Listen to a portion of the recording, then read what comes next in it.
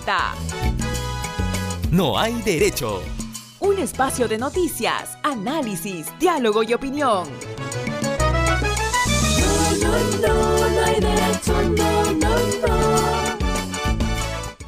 ¿Qué tal amigos y amigas? Muchas gracias como siempre por acompañarnos. Gracias por a esta hora permitirnos compartir con ustedes información, análisis y opinión sobre los temas que esperamos sean de su interés. Esto es posible gracias al trabajo intenso de mis colegas en IDR Radio en la producción, en la edición y en la difusión del programa. Transmitimos en vivo y en directo a través de la Red Nacional de IDR Radio, radioemisoras y canales de televisión que como ven están en todo el país. Literalmente estamos en todo el territorio nacional. Radioemisoras, canales de televisión que nos brindan un espacio de esta hora para transmitir en vivo y otras lo hacen de manera diferida, lo que nos ha permitido también llegar a otros sectores importantes, de los cuales todos los días, y se los digo con mucho cariño, pero también con responsabilidad, recibimos muchas satisfacciones y para nosotros eso es fundamental porque es un impulso para seguir en esta tarea. En Estéreo Vía, la histórica Radio Vía El Salvador, aquí en Lima, al sur, el programa sale en vivo y en directo, al igual que en Radio Manuel en Huaycán, en Atevitarte. Pero también usted nos puede seguir en nuestra plataforma en internet, sobre todo en nuestras redes sociales. Si usted utiliza el Facebook, eh, utiliza el YouTube, el Twitter, el Instagram, el iVoox, Spotify para buscar información, análisis, pues ahí nos va a encontrar. No solo para que nos siga y nos escuche, nos vea, sino también para que opine, nos haga llegar su comentario, su mirada, su perspectiva, sus ideas en torno a todo lo que está sucediendo. Aquí siempre van a ser bienvenidas sus opiniones y gracias por hacerlo de manera además diligente todos los días y la verdad que nos ayuda muchísimo también. Gracias a La Mula y a Útero por transmitir el programa en vivo y en directo, al igual que otros portales, que otros colectivos, que otros eh, portales institucionales, medios de comunicación, que también lo hacen de manera virtual eh, para que pueda llegar a sus públicos. Gracias a quienes nos siguen en las regiones, gracias a quienes lo hacen fuera del país también. eh, y muchas gracias a quienes nos sugieren y nos dan ideas para ir mejorando el programa. Soy Glatzer Tuesta y como todas las mañanas voy a tener el honor inmenso de estar con ustedes en la jornada de hoy. Y ahora el editorial con Blackser Tuesta.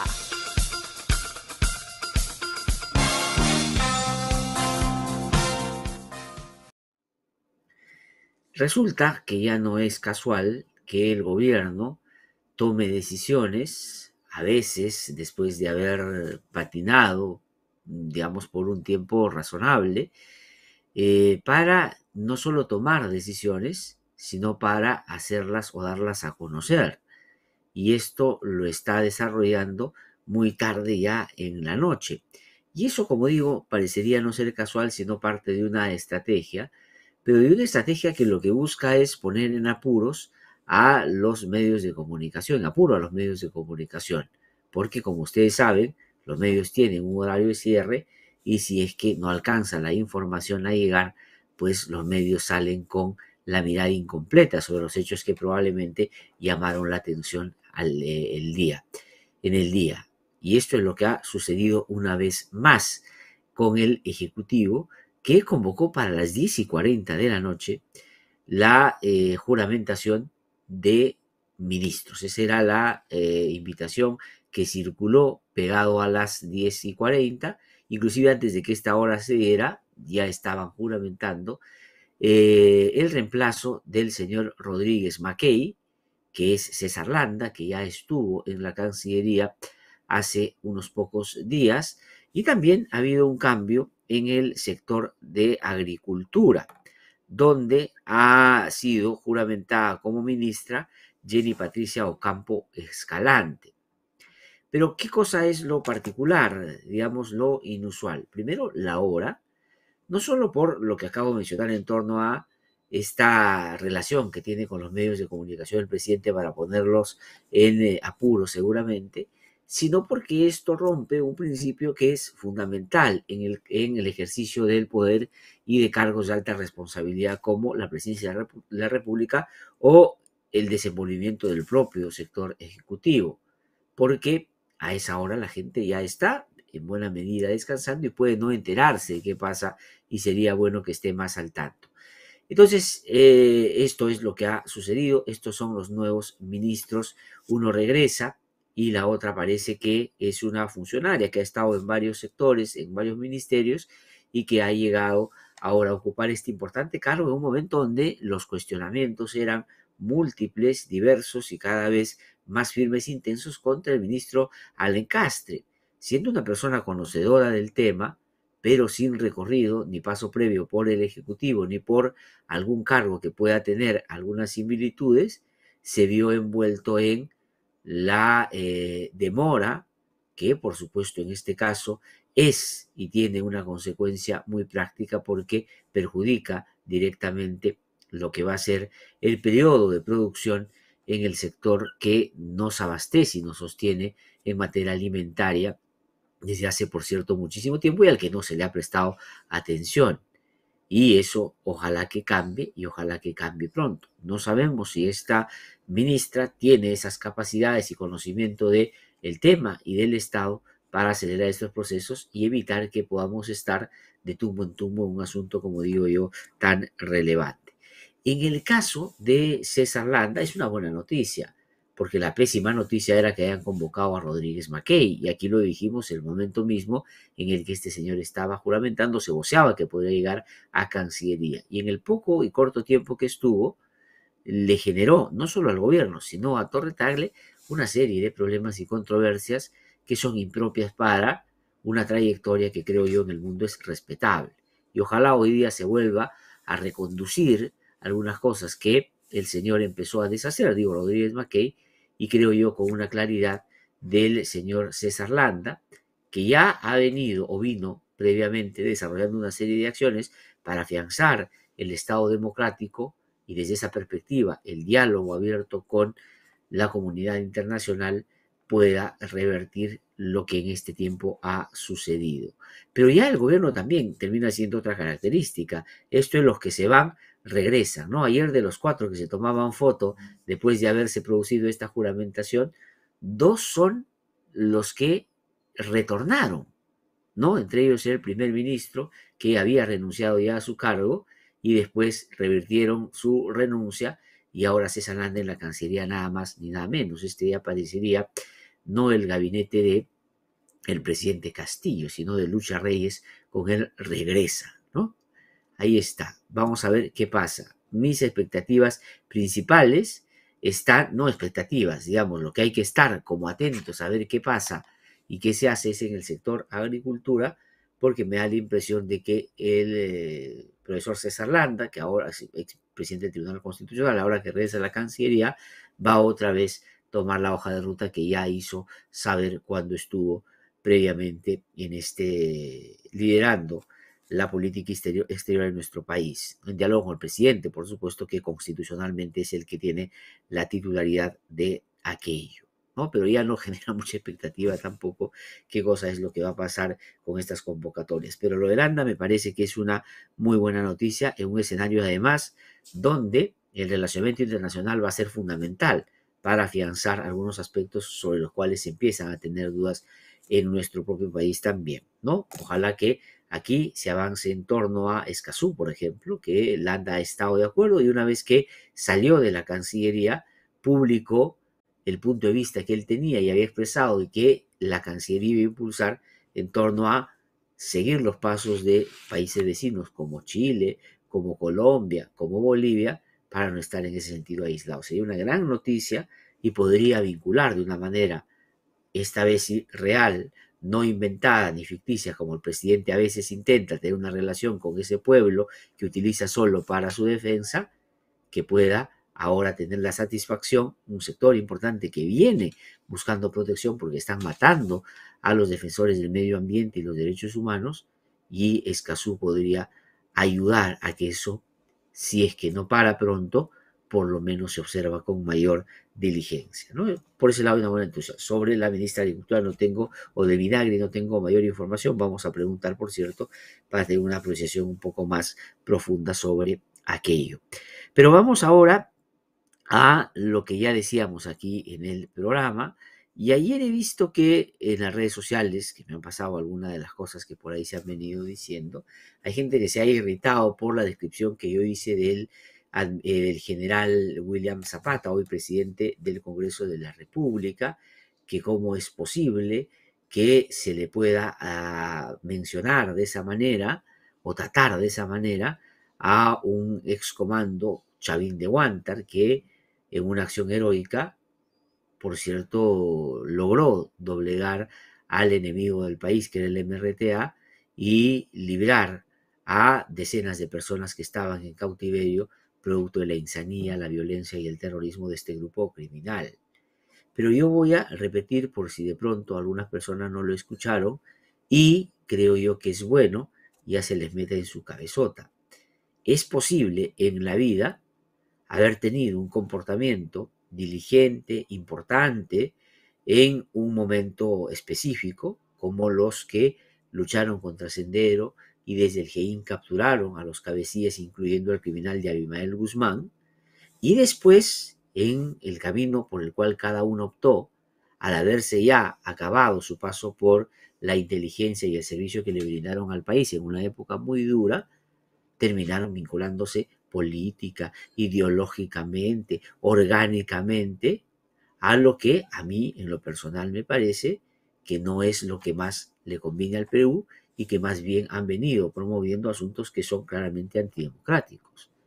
Y el señor William Zapata, que tuvo un papel destacado en Chavín de Guantar, por supuesto que hay que reconocer el papel que cumplieron ahí y eso no es un asunto que hay que regatearle mínimamente pero el tránsito político que él ha desarrollado y él voluntariamente decidió entrar a, este, eh, a esta esfera donde los niveles de escrutinio y de mirada frente a sus actos tienen que ser más intensos, sobre todo si llega a ser presidente del Congreso de la República, nos llevan a legítimamente plantear que es una persona en extremo, diría yo, conservadora, con un ánimo cada vez más notorio de vincularse con la derecha internacional, pero esta que no promueve la democracia, sino promueve más bien su desuso e inventar una que se acomode más a sus formas fundamentalistas, y ha estado vinculado a la lógica fraudista, y ha estado vinculado a la lógica vacadora, y ha dado en sus primeros pasos como presidente del Congreso de la República las señales que, por supuesto, son indiscutibles de que va a seguir la ruta de la señora Mari Carmen Alba, Claro, tratando de hacer eh, de sus eh, afirmaciones algo que pueda un poquito disimularlo, pero no más. Y entonces sí se puede hacer las cosas al mismo tiempo. Eso es lo correcto y creo yo lo que deberíamos hacer. Otros lo hacen y deberían hacerlo si consideran de que esta es una muy buena elección, pues lo propio también resaltando lo que pueden creer que para mí son problemas, para ellos son virtudes. Punto. Y otra muestra de eso, miren ustedes, el presidente Pedro Castillo saludó, como ustedes saben, a través de su cuenta de Twitter, y aquí lo comentamos aquí ayer en el programa, al nuevo presidente del Congreso y le dijo lo siguiente, saludo al nuevo presidente José William Zapata, deseándole éxitos en su gestión. Esto es, por supuesto, meramente protocolar, porque el presidente debe saber que William Zapata no lo tiene pues en su lista de aprecio. No, espero que en un acto democrático nos pongamos de acuerdo para dialogar y trabajar sobre los temas que urgen resolver a favor de los peruanos. Le puede parecer un presidente malo, no me gusta, no me representa, pero esto no solo eh, apunta a lo protocolar, sino plantea un hecho concreto. Busquemos reunirnos para ver si resolvemos los problemas que la gente quiere que resolvamos. O sea, me parece que está bien. Lo invito a reunirnos a fin de que juntos, tanto el Ejecutivo como el Legislativo, den respuestas concretas a las necesidades del pueblo y, de ser posible, recorrer el país, le dice el presidente. Así se originó toda esta intercambio epistolar, eh, tuitero, eh, no epistolar porque se han mandado cartas, por cierto, y después ya esto se materializó formalmente en lo siguiente. Este es el oficio que la presidencia de la República le manda al presidente del Congreso de la República, tengo el honor de saludarlo, que lo felicito por ser presidente del Congreso, y dice, en el marco de la política general del gobierno que viene impulsando, el poder eh, busca fortalecer el diálogo con el poder legislativo, ¿no? Vamos a constituir una agenda nacional pensando siempre en nuestra democracia, en el Estado constitucional de Derecho y en mejor futuro para todos los peruanos. Y aquí está el dato que hay que poner en relieve. Me invito a sostener una reunión de coordinación y trabajo en Palacio de Gobierno, según usted disponga. Entonces el presidente lanza un saludo por su tweet, manda un oficio invitando al presidente del Congreso que vaya a Palacio para que puedan conversar sobre una agenda común para sacar adelante, ojalá, alguno de los temas que están esperando hace bastante tiempo mientras estamos de todos siguiendo la pelea de eh, Tommy Jerry, ¿no? Eso es lo que apreciamos y lamentablemente eso no soluciona los problemas que aquejan a la mayoría de nuestros conciudadanos. Entonces el presidente tiene iniciativa, saluda, invita a Palacio de Gobierno, perfecto. ¿Qué cosa tenía que hacer el presidente del Congreso? Creo yo, aceptar la invitación, ir a Palacio de Gobierno, conversar con el presidente y sobre eso una declaración conjunta, una declaración del, presidente del Congreso, disintiendo o, expresando su disconformidad, lo que fuera, pero eso es lo que correspondía, me da la impresión, hacer, ¿no? Pero ¿qué pasó? El señor eh, William Zapata, presidente del Congreso de la República, asesorado seguramente por los que lo llevaron a, en más de una oportunidad, pronunciarse abiertamente porque hay que sacar al presidente de la República, mandó el siguiente oficio hacia el presidente, le dijo al presidente, lo saluda, eh, le agradece por haberlo saludado por llegar a ser presidente del Congreso de la República. Y aquí miren ustedes, lo invito a que podamos reunirnos. Hasta ahí lo que habría que hacer es ah, agradecer la invitación y decirle que la acepta. No, pero aquí dice, lo invito a que podamos reunirnos en las instalaciones del Parlamento Legislativo el viernes 26, el 16 de septiembre a las 9 de la mañana, oportunidad en la que podemos evaluar las distintas iniciativas legislativas presentadas por el Ejecutivo y aquellas planteadas por grupos parlamentarios que conformarán la agenda legislativa 22-23. Ahora, usted podrá decir, pero si hay expresión de voluntad para reunirse, no importa dónde esto se produzca, la cosa es que se, eh, se reúna. No es necesariamente así, porque la respuesta del presidente del Congreso de la República lo que claramente muestra es que lo que quieren es llevar al presidente de la República y simbólicamente ellos dar la sensación de los que son los que marcan la cancha. Y ese es un asunto que me parece expresa la beligerancia con la que el señor William Zapata va a buscar relacionarse con el Ejecutivo cuando las cosas vayan seguramente calentando un poco más. En este tipo de situaciones no corresponde y no es lo pertinente que empiecen a discutir el lugar y cuál es el más conveniente, sino que se produzca la reunión. Pero habida cuenta, había una invitación inicial del presidente de la República, esa era la que debía, desde mi modesto punto de vista, primar para que, si es que hay voluntad de llegar a acuerdos, se pueda hacer y ojalá que pronto.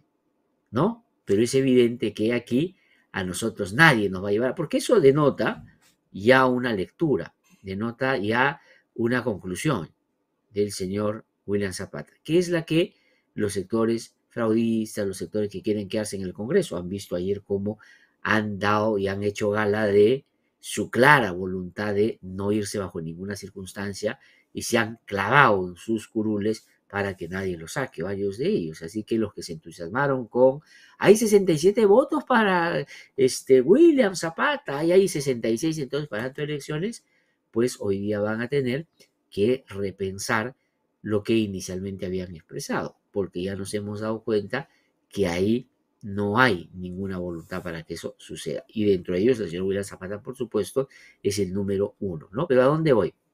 ¿Cuál es el mensaje con una carta de esta naturaleza? No vayas donde el corrupto, no vayas donde el ineficiente, no vayas con él. Que él venga y que aquí en nuestra casa nosotros lo sometamos a nuestra dinámica. El resto, ¿para qué nos vamos a engañar? Esto no es un asunto de protocolo, es una señal. Y el señor William Zapata, seguramente incorporando no solo los consejos de sus amigos los fraudistas, sino claramente él desde su lógica de confrontación con el enemigo, le dice aquí, pero de ninguna manera donde tú no vas a proponer, tú no nos pones la agenda. lo que me parece que es, aparte de una muestra clarísima de cómo va a establecer esta relación, evidentemente puede generar todo un intercambio en torno a si se produce o no esta reunión. ¿no? Después de esto, claro, seguramente el presidente de la República va a ir al Congreso de la República, no lo sé, pero creo yo que al margen de las discrepancias que claramente hay entre estos dos sectores, pues deberían priorizar lo importante y no centrarse en este tipo de cuestiones, ¿no? Pero es evidente que aquí hay un mensaje marcadamente eh, manifiesto, ¿no? Manifiesto. Ahora, el otro asunto es lo que está pasando con el señor Colchado, ¿no? Que ya hoy día se ha convertido en una de las personas más conocidas, porque sobre él se ha discutido y hablado tanto en las últimas semanas, que quien no tenía idea quién era, ahora ya sabe que es un buen policía, que ha llegado a ser coronel, ha participado de investigaciones muy importantes en materia de corrupción, lavado de activos, terrorismo, narcotráfico, durante una trayectoria que ha sido larga y se le ha conocido poniendo en práctica dos características que por lo general escasean también en el cuerpo policial del cual es parte el señor Colchado. Una que es claramente la honestidad y la otra la eficiencia.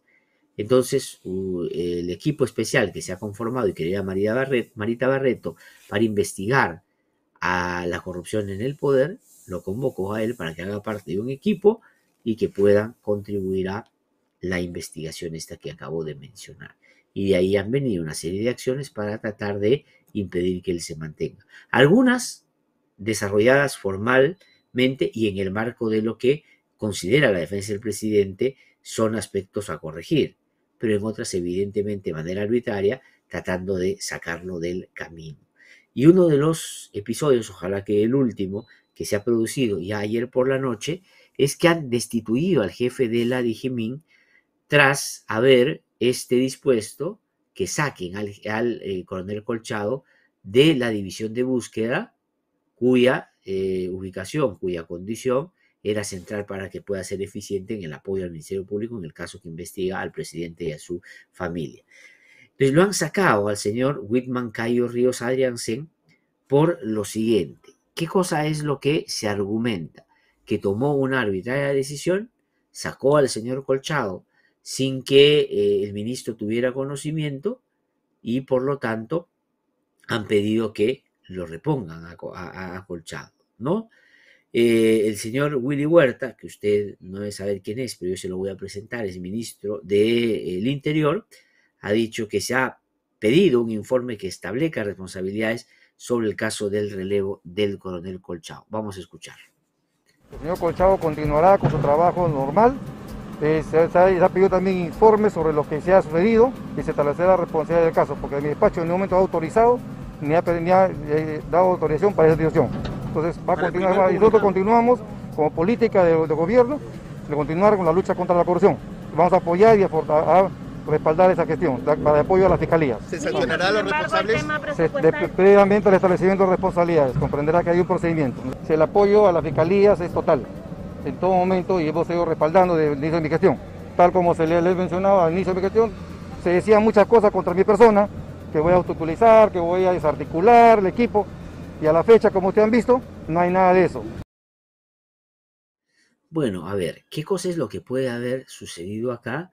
Es todavía un acertijo, una incógnita, todavía no se llega a determinar, pero es evidente que alguien tuvo la voluntad de sacar a Colchado, ¿no?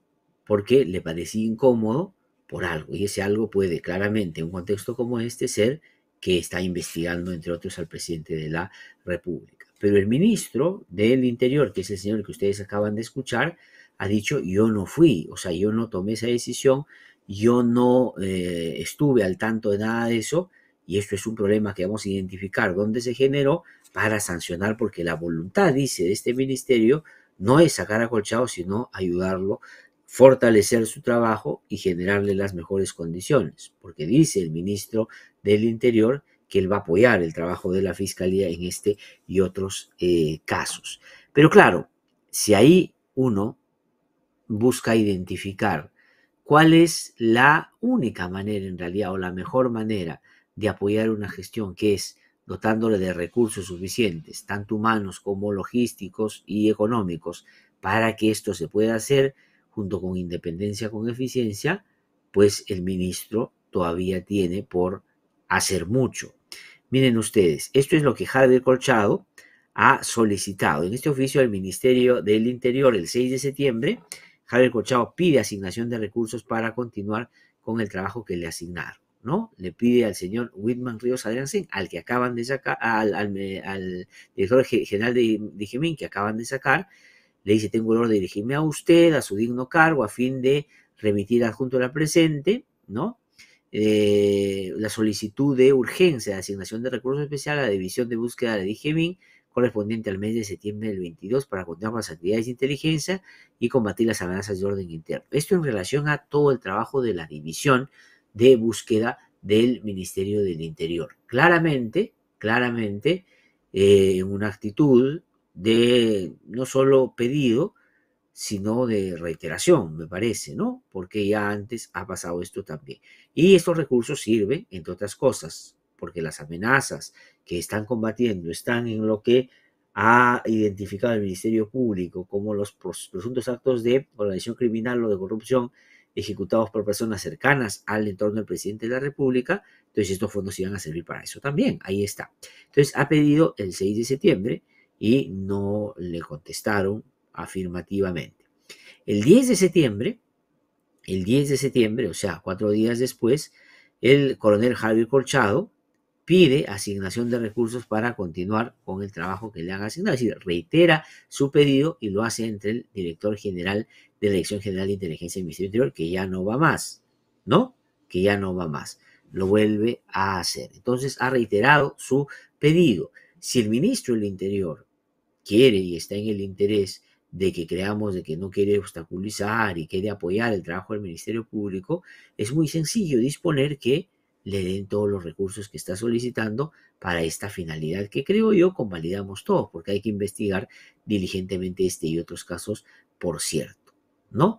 Esto es lo que el ministro debería resolver pronto, aunque hoy día el diario El Comercio en su portada, no sé si lo tenemos, eh, publica justamente eso, ¿no? Vamos a seguramente verlo en un ratito, pero antes de ver, para seguir un poco, descifrando qué cosa es lo que ha podido eh, suceder. Eh, esta es la portada del diario La República, pero no la que apareció en los puestos, sino la que ha circulado por internet. ¿no? El ministro dice que no tiene absolutamente nada que ver con todo lo que pretendieron hacer con el señor Colchado, ¿no? Y ha pedido que se revierta esa decisión que ha tomado el jefe de IGEMIN a quien ya despachó de su cargo. Pero este es el dato que publica en su portada el diario La República. Es importante, a ver, lo tenemos para poderlo comentar en el diario La República hoy día.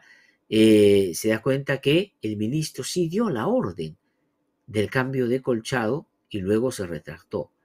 ¿No? El hecho de que se haya retractado es una cosa que hay que poner en relieve, está muy bien que eso suceda, y si uno se equivoca, por cierto, tiene que retroceder. Eso es lo que hacen las personas que no quieren levantar ninguna sospecha y claramente no están eh, en el interés de obrar mal, ¿no? De hacer las cosas mal. Pero el ministro ha hecho una cosa distinta.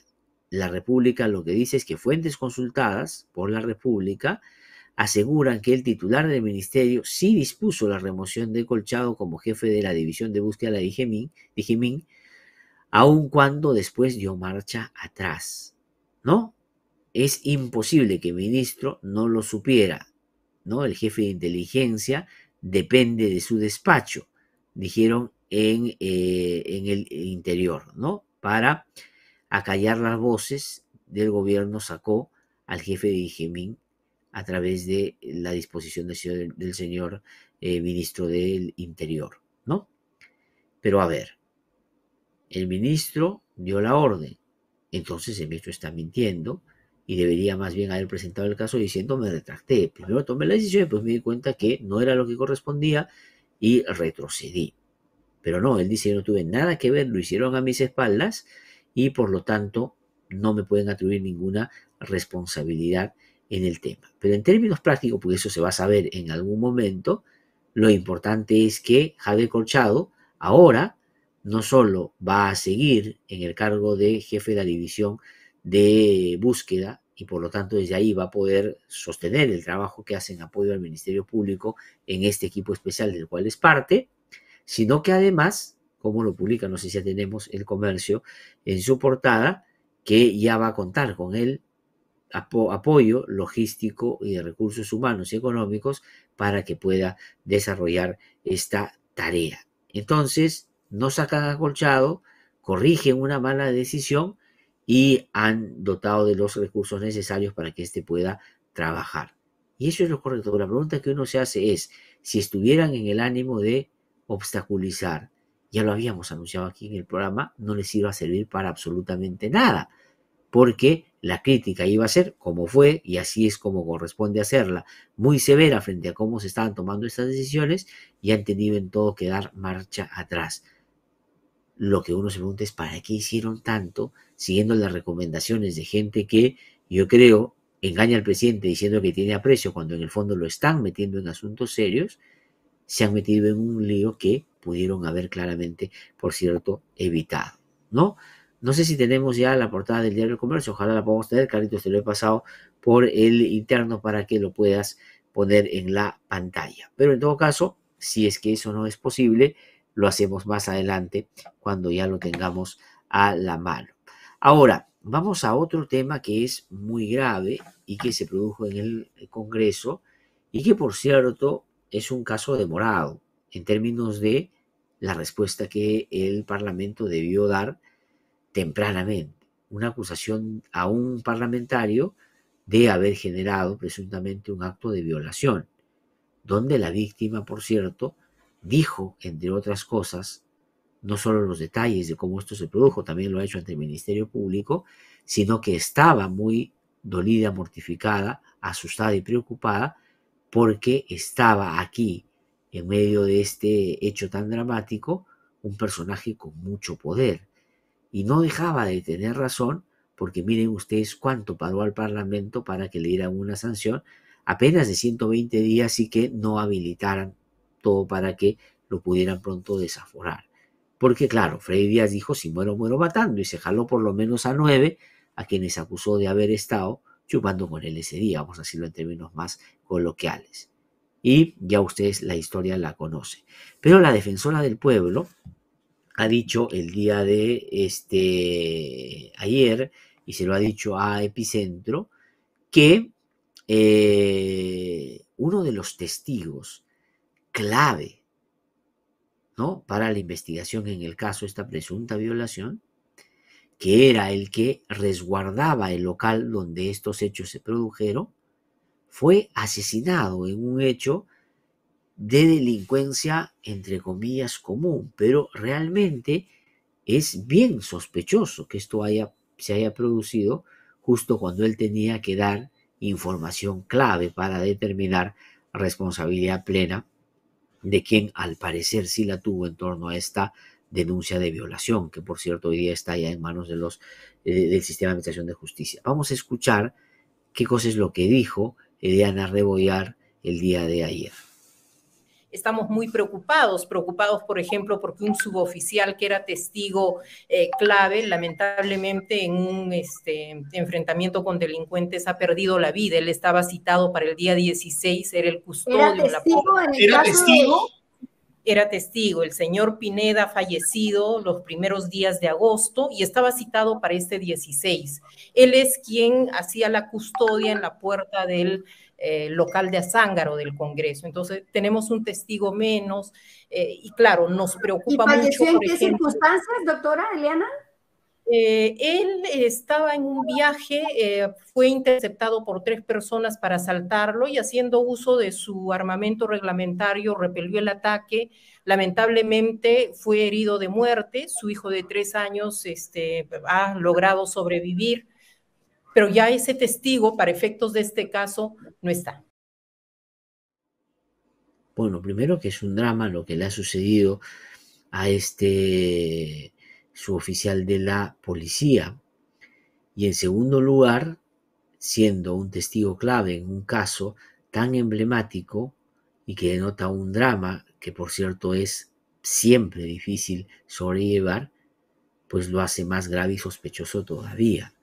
Y miren ustedes que cuando muchos nos enteramos, porque esto es realmente una primicia, una cosa que no teníamos idea, y esto se ha producido ya hace algunos días, pues todos hemos, todos creo yo que escuchamos esta información, hemos rápidamente ido a la sospecha de que puede tener que ver su muerte con la impunidad que está procurando este sujeto al que se acusa de haber violado a una de sus trabajadoras. Para que vean ustedes la concepción, la idea, sino ya la clara determinación que tenemos de lo que es el Parlamento y lo que son quienes lo integran. Que inmediatamente cuando nos enteramos de eso, lo primero que se nos ocurre es pensar que pueden haberlo matado para que no hable, justamente en ese caso al que ya había sido citado y que los próximos días tenía que haber acudido para dar detalles de todo lo que allí ocurrió. Y esto tiene que investigarse desde esa perspectiva también, porque efectivamente puede tener un vínculo. Y entonces si el Congreso de la República tiene indeseables como este y varios otros que ahí están pasando piola, es evidente que no pueden, como hicieron ayer, y esto les aseguro que va a llevar, si su 6.7% ya era un asunto que a algunos les causaba algún nivel de eh, digamos, malestar porque sentían que ya estaban en la lona, después de estas cosas seguramente van a estar ya en el subsuelo, ¿no? Porque algunos están operando desde ahí hace bastante tiempo. Pero esto que ha contado la defensora del pueblo es realmente grave y se tiene que investigar de cara al papel que este, digamos, policía tenía que cumplir o jugar en el caso este de Freddy Díaz, el congresista acusado de violación. Y vamos al Congreso de la República, ¿no? En el Congreso de la República han habido un montón de cosas que desde mi punto de vista son señales claras, nítidas, evidentes de hacia dónde va a ir la gestión que ahora lidera el señor eh, William Zapata. Pero antes de eso, me dice por el interno Carlitos Yancul que eh, se me ha pasado mostrarles un video que no es reciente, pero sí da cuenta de la manera, ahora que hemos estado hablando, del eh, coronel Colchado, Javier Colchado, eh, que es un buen oficial y que está siendo hoy día, por supuesto, señalado por distintos lados como un eficiente policía, pues no era señalado de esa manera antes cuando eh, se ocupaba de otros casos. Y hace unos días yo puse aquí o pusimos aquí en el programa cómo lo llevaron a la comisión de defensa o inteligencia, me parece, en el Congreso Fujiaprista, acusándolo de tener o ser parte de una policía eh, política, le decía, ¿no? Pero Javier Colchado, para que lo conozcan, en su carácter también, no se dejaba y respondía de esta manera. Miren ustedes cómo lo definía hace algún tiempo el señor Tubino al señor Javier Colchado, a quien hoy día, cínicamente, inclusive los fujimoristas, dicen defender. Vamos a ver. Tenemos una policía política. ¿Qué son ustedes? La divinidad utilizada por la fiscalía para eso. Usted también tiene a su cargo la famosa mazmorra de la prefectura de Lima.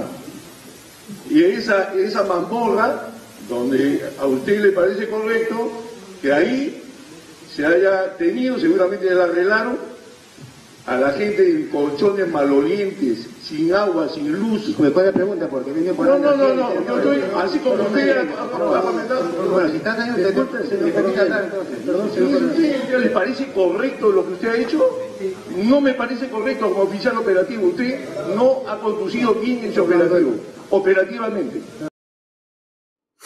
Así es como sacaba de sus casillas el coronel Javier Colchado, creo que en ese momento era comandante todavía, o no sé si era coronel, al señor Tubino, tan caricaturesco él, junto al señor eh, Jorge del Castillo, que por estos días está cada vez más presente en la escena política, lo que Antauruma le agradece de una manera, por supuesto, muy eh, entusiasta, ¿no?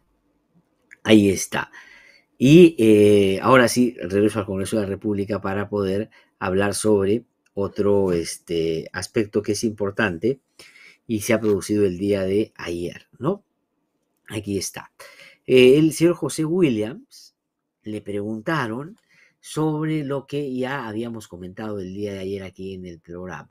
Señor Williams, usted es presidente del Congreso, ¿por qué no firmó, siendo candidato a la presidencia del Congreso, una carta, un acuerdo, un compromiso, dando cuenta de que si se produjese de una u otra manera la salida del presidente Castillo, o porque renuncia, o por lo que va, porque lo vacan, porque hay adelanto de elección, por lo que fuere, que usted va a renunciar para que se elija a otra persona que sea la que asuma la transición el tiempo que sea necesario. Después de, por supuesto, bajarse también a Dina Boluarte, porque esa es un poco la idea y el señor Montoya lo ha resumido y lo ha mandado en varias oportunidades, inclusive con infografía y todo.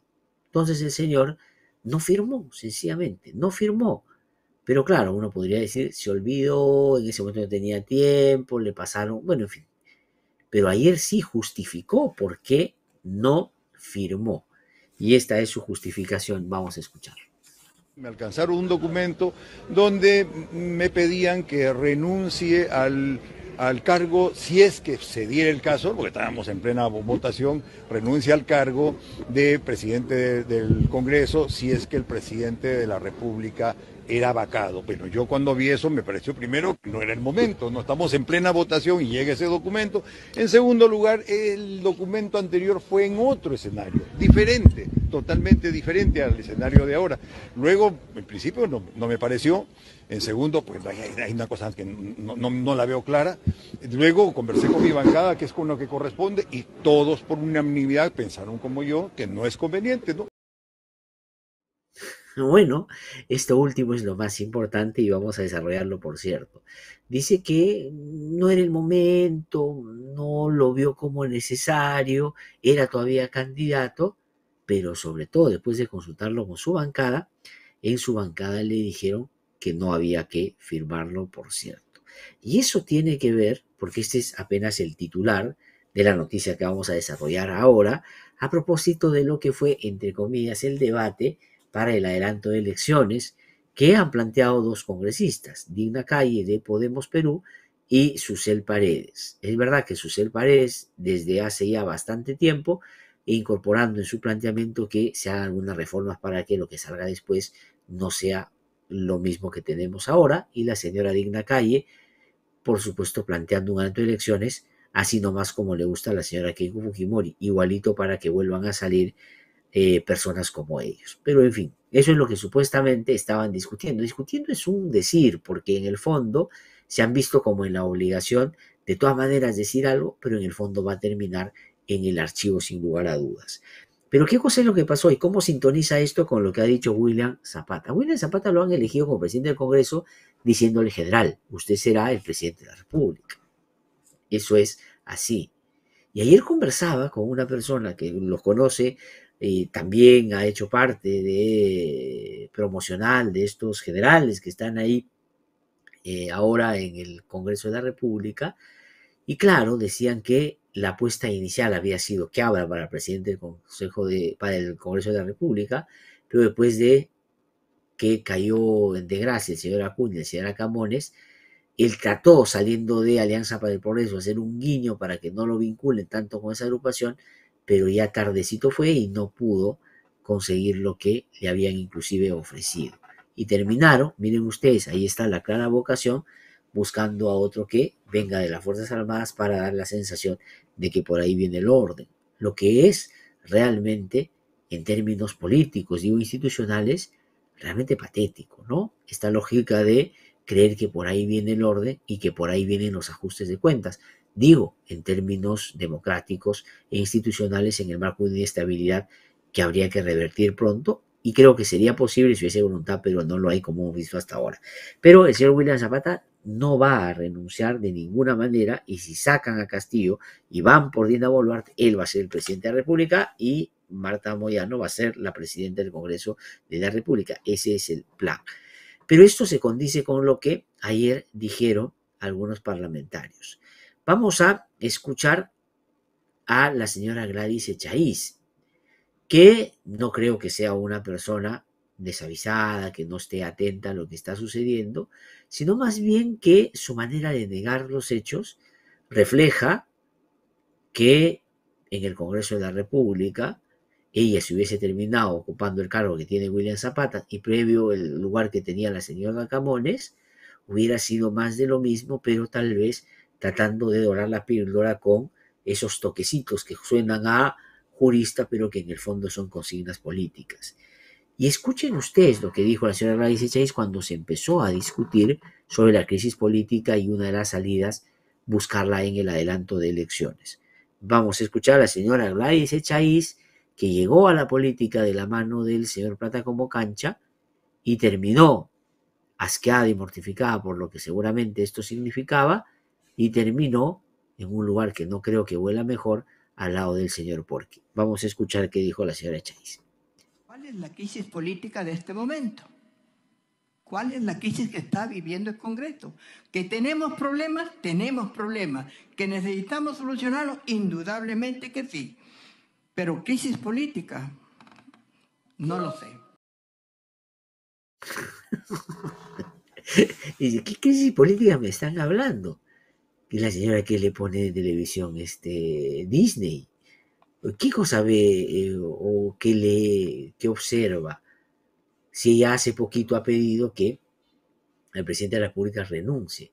Y si uno pide la renuncia de un presidente de la República es porque se supone ha identificado que hay una crisis que solo se resolvería con una decisión de esa magnitud.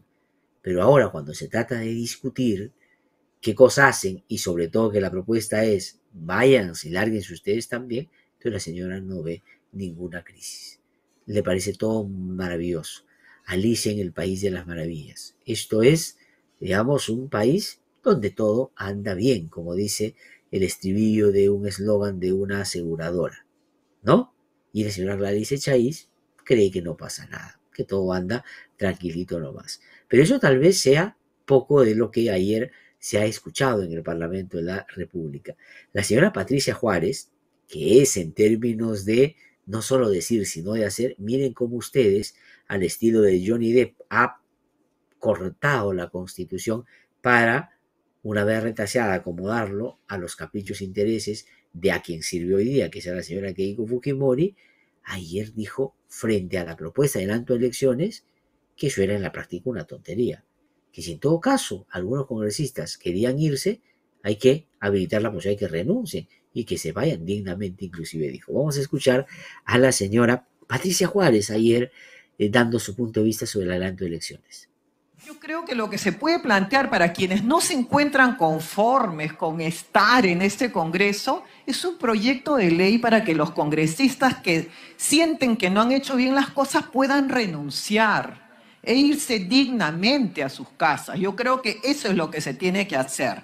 Pero el señalar todos hemos hecho mal, ¿por qué creen que tenemos en este momento un porcentaje tan bajo de aprobación? Porque tenemos al frente al Ejecutivo que todos los días está denostando y atacando en todos los lugares al Congreso de la República. La verdad, yo no creo haber hecho malas cosas. Yo creo que quienes hemos estado acá y hemos trabajado nos sentimos orgullosos de todo lo que se ha logrado durante este primer año.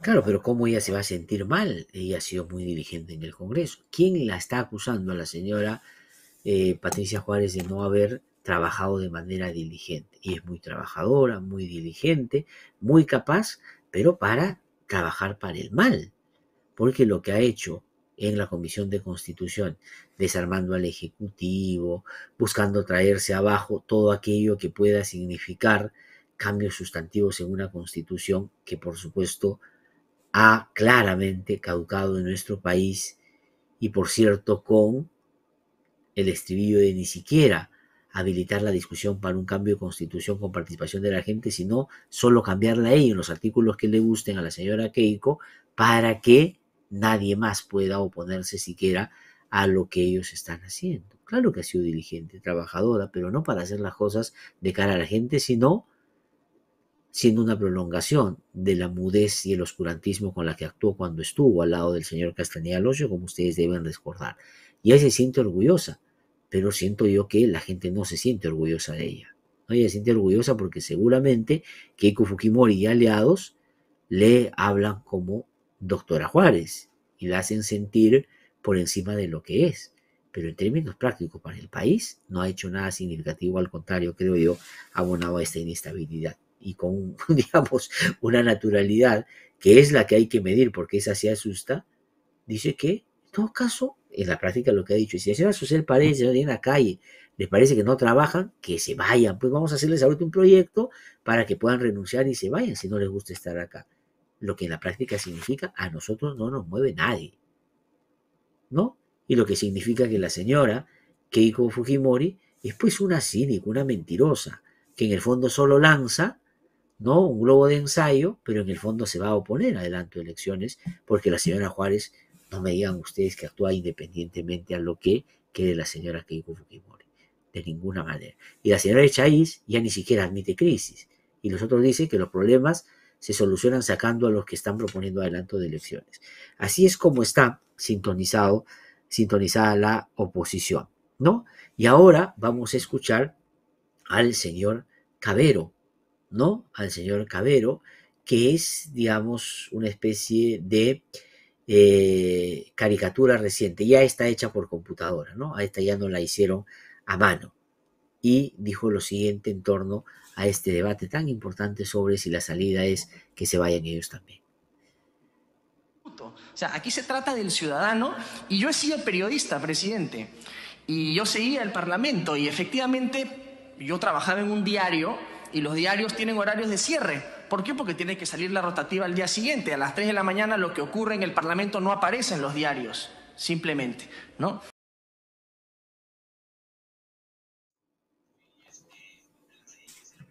Bueno, entonces el señor Cabero ahora resulta que es periodista, ¿no? Yo la verdad que he estado preguntando y personas que cubren el Congreso ya una buena cantidad de años no tenían referencia del señor salvo que creo yo trabajó como asistente con algunos de los congresistas en la bancada de PPK en el parlamento anterior al anterior, ¿no es cierto? Pero ahí está. Y él y la señora Tudela ayer también han claramente hecho un planteamiento de abierta oposición al adelanto de elecciones y han dicho que la única salida a esta crisis, que la única que no observa es la señora eh, es la vacancia no hay otra. Pero al margen de la caricatura, ¿no es cierto? Más o menos sumemos aquí para qué lado van las voluntades. La señora Juárez representa al Fujimorismo, no quieren adelanto elecciones, creo que son 24 votos. Los señores de Avanza País, que están representados en el señor Cabello y el señor Tudela, están también en contra de adelanto de elecciones, ahí se suman, digamos, por lo menos llegan a 31, me parece, y los de Renovación Popular, ya siquiera que no admiten que hay crisis, que ni siquiera admiten que hay crisis, suman, digamos, ocho más por lo menos. Estamos hablando de que están cerca de 40 expresados en estas tres voces que ustedes han escuchado ahorita, que no van a ir por el acto de elecciones. Y todos ellos firmaron para que William Zapata sea presidente del Congreso de la República. Así que quienes creían que con los 67 votos de Zapata ya estaba la posibilidad de el adelanto de elecciones, pues resten de todo esto porque por ahí no va a ir la cosa. No va a ir la cosa de ninguna manera, porque ellos no admiten ser el problema. Y es más, la señora Juárez dice, ¿por qué el Ejecutivo, perdón, el Congreso, tiene tan baja aprobación? ¿Por qué tiene 6.7%? Porque dice que el presidente se pasa por todos lados, eh, denostando, criticando, cuestionando al Parlamento de la República. O sea que ahora el inútil, el incapaz, disculpen ustedes, no son mis términos, es así como ellos se refieren al presidente de la República, el burro, ¿no? Así le dicen en un acto, me parece impropio, ¿no? Ahora es competente, mueve a la gente, cambia la percepción de la gente y ha logrado voltear el excelente papel, imagen que tiene el Parlamento para que esté por los suelos. Miren ustedes, tan incapaz, entonces no es el señor Castillo que la señora Juárez, tan, digamos, pegada a este, el discurso sin sentimiento, ¿no? Termina adulando al presidente diciéndole que tiene una habilidad para hacer que el Congreso esté en la situación en la que está. Y todos sabemos que eso no es verdad. Si alguien ha hecho o si hay una institución que a pulso se ha ganado el repudio de la gente, es el Congreso de la República. No hace nada para la gente. La propia señora Camones lo ha dicho en esa conversación con su jefe, el señor Acuña, ¿no? cuando ella mencionan ahí que quiere trabajar, la gente no quiere ni siquiera trabajar tales días, este, me hacen cuestión de Estado por eso, quieren sacar leyes declarativas, solo para quedar bien con su gente y que esto no sirve para... Eso es lo que es este Congreso. Y eso para hablar de la parte más suave y anecdótica, porque si hablamos de cómo defienden a las mafias en el Parlamento, ya estamos en asuntos que nos podrían tomar mucho más que los pocos minutos que me quedan para terminar la editorial el día de hoy, ¿no? Entonces, no hay, y la cosa no va a ir por el adelanto de elecciones como ustedes acaban de apreciar. Más aún, si miren ustedes en qué se inspira este Congreso. Miren ustedes a quienes han invitado a exponer sobre la democracia en el Perú. ¿Qué es esto? La señora Lourdes Flores hablando de democracia en el Perú después de que, de una manera, bueno, tenaz, y eso hay que sí de mencionarlo, de una manera terca, ha estado generando falsos debates, ilusionando a gente que perdió la elección con la posibilidad de que podían tomar el poder empapelando a todo el mundo. El señor González Posada, que, digamos, yo pensé ya estaba este, en la condición de jubilado en la política porque aportes sustantivos, ya inclusive cuando estaba todavía de congresista, no hacía, por supuesto, y una persona muy allegada y vinculada a ese sector del cual más bien debió deslindar cuando se descubrió que estaban recontrametidos en actos, dichos por el propio secretario del señor Alan García, de corrupción y de recibir platas en loncheritas. Y el señor Víctor Andrés García Belaunde, por cierto, en el claro interés de regresar ahí donde la gente le, le dijo de manera fehaciente, no te queremos. ¿No? Si uno pone, podría arribita donde aparecía en la radio, poner Willax y queda perfecto, porque esto es básicamente el eh, lugar donde reposan estas almas. Y en el Congreso, por supuesto, invitados para hablar de cosas que por supuesto no han honrado. ¿no? Entonces, con este Congreso de la República, con este tipo de actitudes, evidentemente no van a poder agarrar vuelo y más bien van a tener que usar submarino dentro de poco. Y la Junta de Portavoces va a ver el día de hoy en el Congreso de la República la moción de censura contra el ministro General Alvarado, hecho que debió haberse producido desde mi punto de vista hace ya bastante tiempo, pero que recién va a producirse. Esa es la foto que da cuenta de eh, la moción de orden del día que, eh, digamos, se va a llevar adelante y van a terminar censurando al ministro amigo, el presidente de la República, uno de los que quedan de ese trío o cuarteto que está ya involucrada en actos que claramente el Ministerio Público ha identificado pueden ser de corrupción, ¿no? Esto es lo que va a pasar en el Congreso de la República. Eh, el día de ayer, la fiscal de la Nación estuvo reunida con la presidenta del Poder Judicial y de la Junta Nacional de Justicia, con el presidente de la Junta Nacional de Justicia, el señor Ávila. Esta es la foto que tuiteó el Ministerio Público. Dice la fiscal de la Nación, Patricia Benavides, participó en una reunión con los titulares de la Junta Nacional de Justicia y el Poder Judicial para dialogar sobre la provisionalidad y plantear soluciones interinstitucionales que fortalezcan la seguridad jurídica en la impartición de justicia, dice el Ministerio Público. Hubiesen aprovechado para preguntarla, preguntarle por la salida de la señora Bertsabe, eh, perdón, Revilla, lo hubieran, digamos, preguntado por la salida del fiscal Frank Almanza, en el caso de los Sánchez Paredes, y hubieran aprovechado para preguntarle sobre lo que ha dicho el ex fiscal Juan Villanueva, que ha corroborado, ojo público, que la señora tiene por lo menos siete llamadas con el señor Camayo, personaje central en la trama de los cuellos blancos del puerto. Hasta ahora, y miren, es la primera vez que yo conozco que la Junta, que podríamos decir no es exactamente parte del sistema de administración de justicia, pero se mueve en torno a decisiones que toman colegiadamente, no se filtra nada sobre las investigaciones que decían la fiscal de la Nación. Yo imagino que las últimas cosas que se han conocido ya las ha incorporado también, porque nadie tiene corona y la señora no puede, porque es fiscal de la nación, verle con ojos distintos a los que se ve a cualquier otro funcionario. Y antes que empiecen los troles a atacar, hay que decir que, al margen de la señora Patricia Benavides, que tiene una situación que desde mi punto de vista no explica y no quiere explicar, eh, bien, yo diría significativa, porque eso es, una fiscalización no puede estar sostenida en un cargo cuando hay varias dudas en torno a su propio desempeño. Ahora ya vinculaciones que puede haber tenido con personajes que, por cierto, no son de lo que la sociedad pone como los ideales, ¿no es cierto?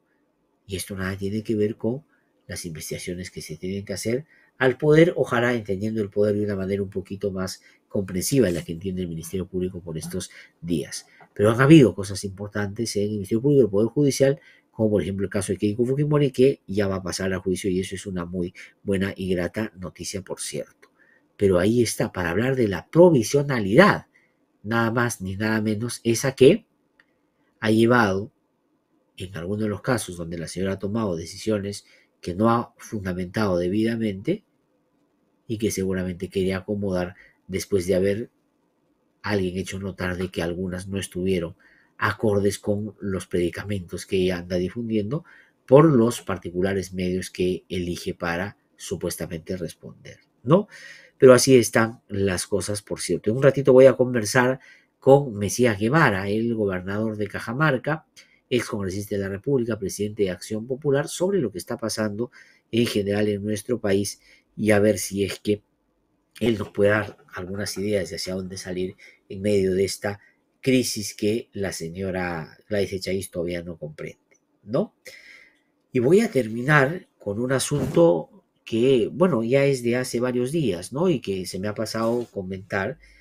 Miren ustedes, ustedes tienen que pegarse a los datos que la realidad nos manda de una manera dramática. La pandemia es evidente, creo que ha sido el escenario en el que más nítidamente hemos tenido que darnos cuenta de que hay problemas estructurales en nuestro país. Quien no se ha dado cuenta de eso, producto de lo que esto significó, 200.000 personas muertas, un sistema de salud colapsado, un sistema educativo pensado no para un país en la diversidad que el nuestro tiene, en fin, la seguridad y todo, pues en realidad o es ingenuo o convalida que eso se mantenga así, porque simplemente lo que quiere cuidar es su propio privilegio. No, y nos ha dado lección y ojalá hubiésemos de eso aprendido para revertir esas brechas que hay en nuestro país. Y una de ellas tiene que ver con las brechas que hay para el acceso a oportunidades, por ejemplo, entre hombres y mujeres. Una de esas brechas se expresa en la violencia contra la mujer y cómo desatiende el sistema de administración de justicia estos casos, alentando con la impunidad a que se sigan cometiendo actos bárbaros como los feminicidios, por ejemplo. ¿No? Entonces estamos frente a un tema complejo, serio, grave, que no es menor y que, por supuesto, denota una atención integral, porque en nuestro país el machismo es una de las principales taras que tenemos, junto con la violencia y la discriminación, y la discriminación de género, por cierto, aparece en primer orden. Esos son los datos de la realidad. En nuestro país las mujeres no pueden ser libres porque si se pone minifalda y salen a determinada hora de la noche, la pueden violar y va a terminar argumentándose que por qué se pone un escaparate y terminan provocando pues a los hombres en la calle. Para poner un solo ejemplo, en la política también se expresa cuando claramente van a ser acosadas por el hecho de ser mujeres. Así de concreto, así de simple y así de lamentablemente cotidiano. ¿No? Y en medio de esa circunstancia, discutir este problema tan complejo desde una perspectiva, por supuesto, eh, diría yo, eh, incompleta, desde una perspectiva no central, es buscar paralizar y no avanzar en un debate que tiene que procurar ser, como digo, más amplio, ¿no? Y en Canal en el otro día, digamos, un señor que tiene un programa ahí, eh, antes lo tenía con Jaime Chincha, me parece, y que no le hacía bien a Jaime Chincha tener esas juntas, tengo yo la impresión, digo, en términos de propuesta periodística, pues hizo esta pregunta a través de su programa, ¿no? Vamos a escuchar y ver. Para cerrar eh, la pregunta del QR, que quedaría de la siguiente manera. ¿Es el lenguaje inclusivo una solución al problema de la falta de equidad de género? Y 658 creen que no y solamente 47 creen que sí. Hay pues poca receptividad Poquísima. al, al Pero cada vez inclusivo. se dan cuenta cómo desde la televisión, pudiendo aportar a un intercambio que sea un poquito más profundo y no a una especie de caricaturización de algo que es parte de todo un problema mayor, pues terminan alentando este tipo de eh, estereotipos, ¿no? Y eso es lo que la televisión nos está por estos días ofreciendo, ¿no? Triste y lamentable. Claro, de la mano de alguien que cree que la televisión tiene que ser un show. Y entonces, la televisión tiene que ser un show, tienes que poner, pues, algo de bufones, algo de payasos, algo de este cotillón y algo, por supuesto, de ridículo. Y la verdad, viendo este tipo de programas, personas en los medios de comunicación, pues todos o varios de ellos incorporan todas las alternativas anteriores. Vamos a una pausa, regreso un instante. Estamos aquí en No hay Derecho y cuando regrese voy a conversar, como ya mencioné, con eh, Mesías Guevara, el gobernador de Cajamarca y por supuesto una persona vinculada a la política de hace ya bastante tiempo. Regreso. Hemos presentado el editorial con Glaxer Tuesta. Síguenos en Twitter, búscanos como IDL Radio, noticias, análisis y opinión. www.idlradio.pe es la renovada página web a la que usted debe ingresar. Información, análisis y debate. www.idlradio.pe Es una producción del Instituto de Defensa Legal. Síguenos en Instagram y búscanos como IDL Radio, noticias, análisis y opinión. Un estado indiferente desde el Ministerio de Salud. Este es el testimonio de Esmeralda Larota, integrante de la Asociación de Mujeres Defensoras del Territorio y la Cultura Cana y afectada por contaminación por metales pesados. no se ha visto la atención. Y es que hacen también es solo es como medicina general, no es eh, que nos atiende en tema de estos metales tóxicos, en, sustancias tóxicas que tenemos en nuestra sangre. Seguimos nosotros mm, enfermos con muchas enfermedades en nuestros órganos, empeorándonos nuestra salud y no tenemos cómo con qué tratarnos. Y esperamos que pronto el gobierno o las autoridades en ese tema que nos atiendan a solucionar, que nos garanticen una agua limpia, una vida mm, saludable. En Espinar esperan la debida atención en salud. No seamos indiferentes. Amenazas contra nuestra libertad. Gente que falsea la realidad. Racismo, terruqueo y desigualdad. Por eso ponte en acción contra la corrupción, la falsa información. Salí la voz, ya no sientas temor. Terruco, terruco de M. Así le dicen cuando quieren desacreditar a un adversario político. El terruqueo es una forma de matar la dignidad del ser humano. El periodo de violencia política terminó hace tiempo, pero hay quienes quieren mantener vivo ese fantasma. Grupos extremistas y conservadores fomentan estos discursos de odio. Por eso decimos que la democracia está en riesgo. Mantente alerta, mantente atento. Algo malo está sucediendo. La democracia está en riesgo. El periodismo cumple una función fundamental en la sociedad, informar con la verdad a sus ciudadanos. Lamentablemente en el Perú, dicha función muchas veces es vulnerada.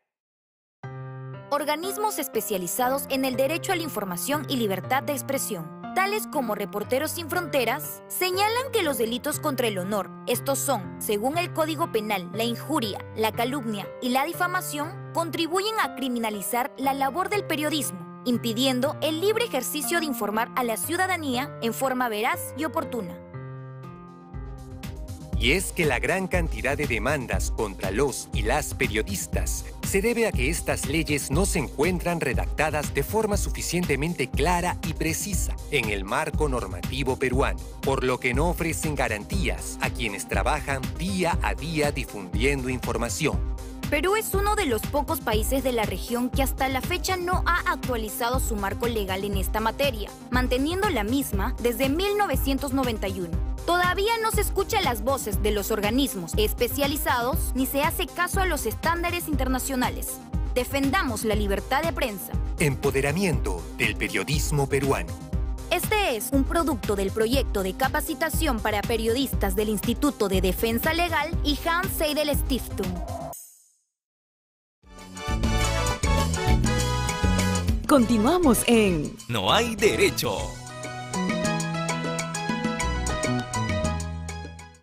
Estamos de vuelta aquí en No hay Derecho, lo anuncié antes de irme a la pausa, más temprano también cuando hacía mis comentarios. Mesías Guevara es gobernador de la región Cajamarca, ha sido congresista de la República, presidente de Acción Popular y siempre es un gusto tenerlo en el programa en situaciones como las que por estos días estamos viviendo y pese a que hay, por ejemplo, ayer en el debate que se dio sobre la posibilidad de adelanto de elecciones, congresistas que dicen de qué crisis están hablando. Si no hay crisis, hay problemitas, pero digamos, crisis, crisis, no hay.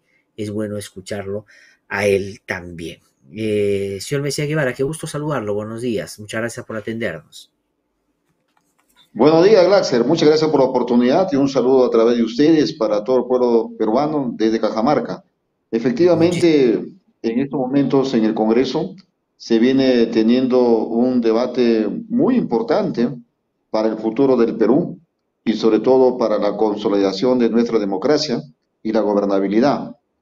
Ahora, la pregunta que tenemos que hacernos es, eh, ¿por qué hemos llegado a esta difícil situación en la que hoy nos encontramos?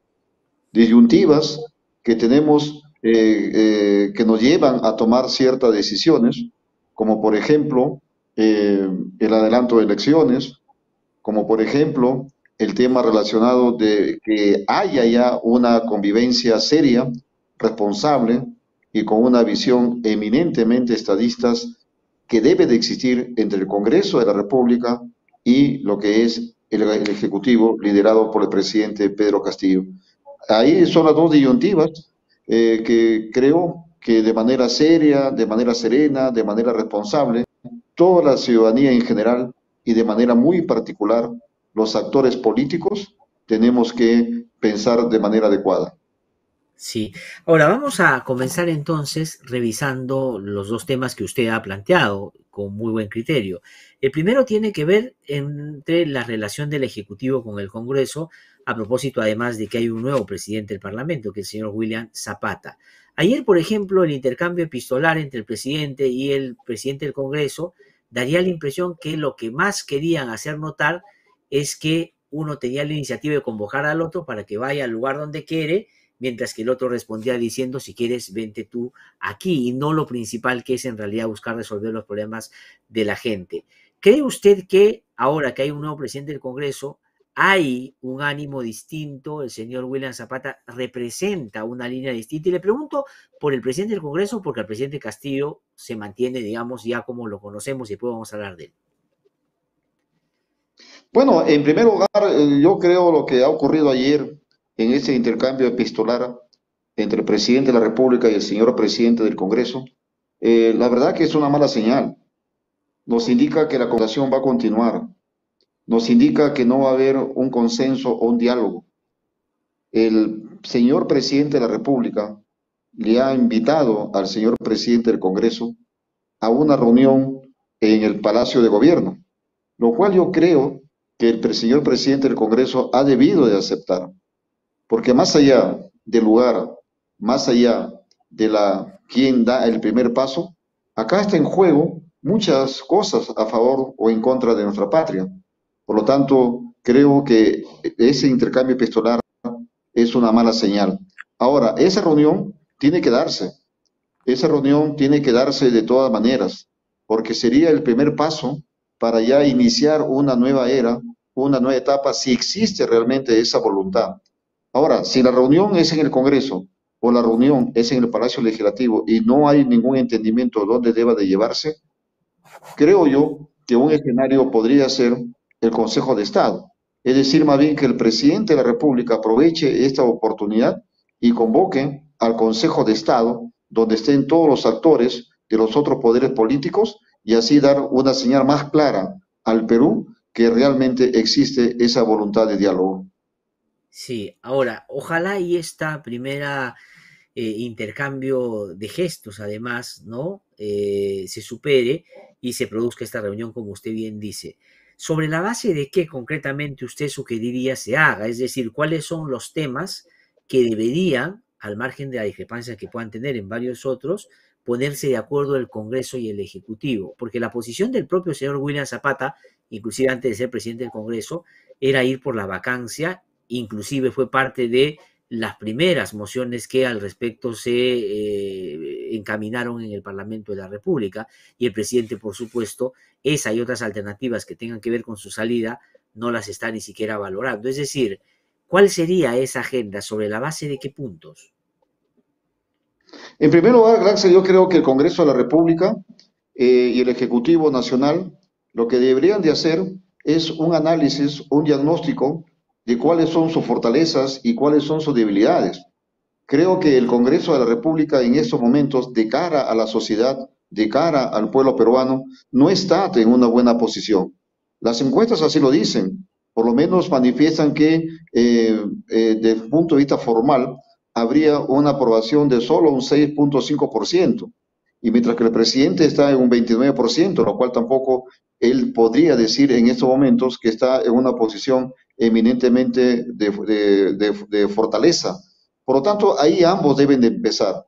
Y ahora, en lo que se refiere en qué puntos debe de coordinar, en primer lugar, fíjate que hay serios inconvenientes en estos momentos en lo que significa la parte de la economía.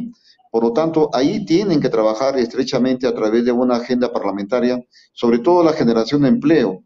En estos momentos, por la difícil situación que vivimos, los peruanos, tanto por la crisis sanitaria, la crisis política, la crisis económica, demanda que en estos momentos las más altas esferas del gobierno se busque un consenso en la reactivación económica que genera empleo y sobre todo afrontar el alza desmedido que en estos momentos se está teniendo en cuanto a los productos de primera necesidad y los insumos, como el caso de la uria, como el caso del combustible, que son elementos o insumos fundamentales para la agricultura y la economía eh, en general. El otro tema, tenemos que buscar un consenso ya en el tema relacionado con la salud y la educación y, por supuesto, lo que es la seguridad ciudadana. En estos momentos, como tú lo expresabas en tu editorial, hay una gran incertidumbre en torno a este tema y, por supuesto, eh, cómo generar un espacio eh, que confiable para dar que la inversión pública y la inversión privada sea posible en nuestro país. Yo creo que esos son los puntos mínimos que el Ejecutivo y el Congreso deberían de buscar consensos. Por supuesto, hay una frondosidad de propuestas y de temas, pero yo pienso que por ahí se debe empezar. Ahora, temas que no han estado en la lista de atención del gobierno de manera diligente y menos en el Congreso como alternativa para contrapesar en esos temas, porque varios de los ministros que han estado en los sectores que refieren las notas que usted plantea han tenido un mal comportamiento y ni siquiera los han llamado a fiscalizar por los temas de gestión, sino más bien por otras cosas. ¿Y cómo resolvemos el asunto entonces de la relación del Ejecutivo con el Congreso? Ustedes de la idea ya entrar a discutir estos temas de fondo y en lo otro que encontrar un punto de acuerdo en que se quedan los dos, tanto el Ejecutivo como el Congreso. Mira, por principios democráticos, eh, por principios democráticos eh, y el respeto de la Constitución, eh, podemos estar de acuerdo o no de acuerdo con esta Constitución del año de 1993, pero sin embargo estamos en estos momentos regidos por este contrato social. Y es en ese sentido que ambos poderes, tanto el Congreso como el Ejecutivo, han sido elegidos por cinco años. Por lo tanto, lo ideal, lo principista, es que ambos cumplan su periodo. Ahora, meter en la agenda eh, términos como vacancia, términos como cierre del Congreso, o que algún político pida la renuncia del presidente de la República, pueden ser posiciones personales, pueden ser eh, posiciones, eh, digamos, netamente de grupo, pero no responde a los principios democráticos que tiene un ciudadano y un político de bien. Por lo tanto, si ese es el camino, eso debería de continuarse, pero para que eso se cumpla, sin lugar a dudas, tiene que existir lo que es un consenso, una convergencia, una agenda legislativa y ejecutiva mínima para poder sacar adelante el país. Pero ahora, si ambos continúan con esta confrontación, no quedaría otro camino más que invocar el adelanto de elecciones. Pero en lo personal, Glaxer, yo sí apostaría por el consenso entre el Congreso y el Ejecutivo, porque lo otro sería traumático también para nuestro país, incluso estamos en un mundo, en, una, un escenario netamente incierto, que cada día incluso la incertidumbre se consolida más en nuestro país. Ahora, pero esto que nace, como usted bien dice, de un eh, ánimo y una lógica principista, en términos de realidad política, práctica, usted lo ve ahora como la opción más, eh, más probable. ¿A qué me refiero? Porque hasta hace algunas semanas se hablaba de la posibilidad de conseguir votos suficientes para bajar al presidente, sobre todo cuando se han conocido detalles de su presunto vínculo con casos de corrupción, pero no han conseguido los votos. Después empezó a sonar fuerte la posibilidad de adelanto de elecciones, que es con 66 votos más un referéndum. Inclusive cuando el señor William Zapata sacó 67, hay gente que inmediatamente se entusiasmó y dijo, ahí están los votos para adelanto de elecciones. Pero ayer en el debate sobre adelanto de elecciones, la mayoría de los que han participado se han opuesto abiertamente al adelanto de elecciones, bajo dos principios. Uno, de el responsable es el Ejecutivo, lo que quiere decir yo estoy más de acuerdo con la vacancia, ¿no es cierto? Y por otro lado, el asunto de, evidentemente, ellos entender que ellos no son el problema, que ellos evidentemente son los que van a, como dicen ellos, resguardar el sistema democrático. Entonces, ¿usted cree que a donde se está apuntando más es la posibilidad de que los dos se queden? Más allá de lo que usted defiende como principio, digo, en esto es práctico. Bueno, en principio, eh, eh Glaxer, eh, yo comparto que la realidad eh, en estos momentos se está imponiendo a lo que es lo ideal, a lo que es eh, los principios fundamentalmente democráticos. Y el otro tema que siempre no debemos de descuidar es lo que tú acabas de decir, en el sentido que cualquier decisión política pasa por el Congreso de la República. Y en este, como ayer en la Comisión de Constitución se ha estado debatiendo el proyecto de ley de adelanto de elecciones, ya hemos escuchado diversos argumentos. Entonces, lo que nos queda es decirle al Congreso de la República, si ustedes están en desacuerdo con el adelanto de elecciones, si ustedes están en desacuerdo con convocar un plebiscito más los 66 votos, entonces, ¿qué queda? Lo único que queda es sentarse a trabajar de manera conjunta, de manera responsable, para evitar una convulsión social, porque al final eso podría ocurrir. Ojo, no lo descartemos. Al final la calle es la que va eh, decir con el Perú. Y eso sería mucho más traumático. Por lo tanto, lo que habría que decirles a los señores congresistas es que piensen con serenidad y reflexión. Acá quedan solamente dos caminos. Se trabaja conjuntamente, con responsabilidad y por el bien del país, o simple y llanamente hay un adelanto de elecciones, o simplemente el pueblo puede tomar decisiones más violentas, los cuales yo en lo personal no deseo para mi país. El hecho de que personajes como Antauro Mala, hasta hace poquito más, su condición era de una persona recluida en penal producto de una sentencia por delitos graves como asesinato, eh, regresa al mismo lugar donde se produjeron estos hechos hace ya buena cantidad de años, casi 20, y es ovacionado y es recibido de una manera yo diría, incontrastable en términos de lo que pasaría hoy día si otro político va a la misma zona, es un anuncio de lo que podría venirse si es que este acuerdo no se procura y no se empiezan a cambiar en serio algunas cosas para que mejore la relación del Estado con la gente? En definitiva, Glaxer, esa es una señal ya de que un gran sector de la población ya se está cansando de lo que actualmente estamos viviendo, de esta infructuosa eh, eh, escenario, comunicación, enfrentamiento que existe entre el Congreso y el Ejecutivo, ya se está cansando y están buscando otro tipo de liderazgos, como el caso del señor Antauro Mala. Dicho sea de paso, este liderazgo fortalecido no solo por el enfrentamiento que existe entre el Congreso y el Ejecutivo, sino por la lectura equivocada de ciertos eh, personajes que de la, de la ultraderecha o la, la, denominada derecha brucha y achorada, que en ellos están permanentemente abonando el surgimiento y la consolidación de este tipo de personajes, demoliendo a los políticos, a los partidos de centro, eh, que dicho sea, de, dicho sea de paso, también está eminentemente debilitada, pero sin embargo todavía hay eh, personajes, hay políticos de la, del centro que podrían encarar una reestructuración de nuestro país, pero sin embargo hay ciertos medios de comunicación que de manera abusiva eh, se lanzan contra ciertos partidos políticos del centro y también con políticos del centro.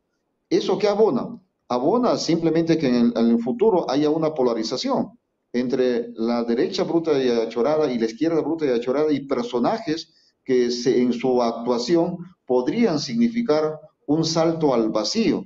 Y eso yo lo personal sí creo que hay, hay una cierta responsabilidad de la clase política, que hoy incluyo también a mi partido, que no estamos actuando con seriedad, estamos actuando de espaldas al Perú y estamos fortaleciendo a este tipo de eh, políticos o personajes como es Antauro Humala, con quienes hay que darle un debate ideológico, un debate programático, un debate de propuestas, pero de verdad, no simplemente con adjetivos.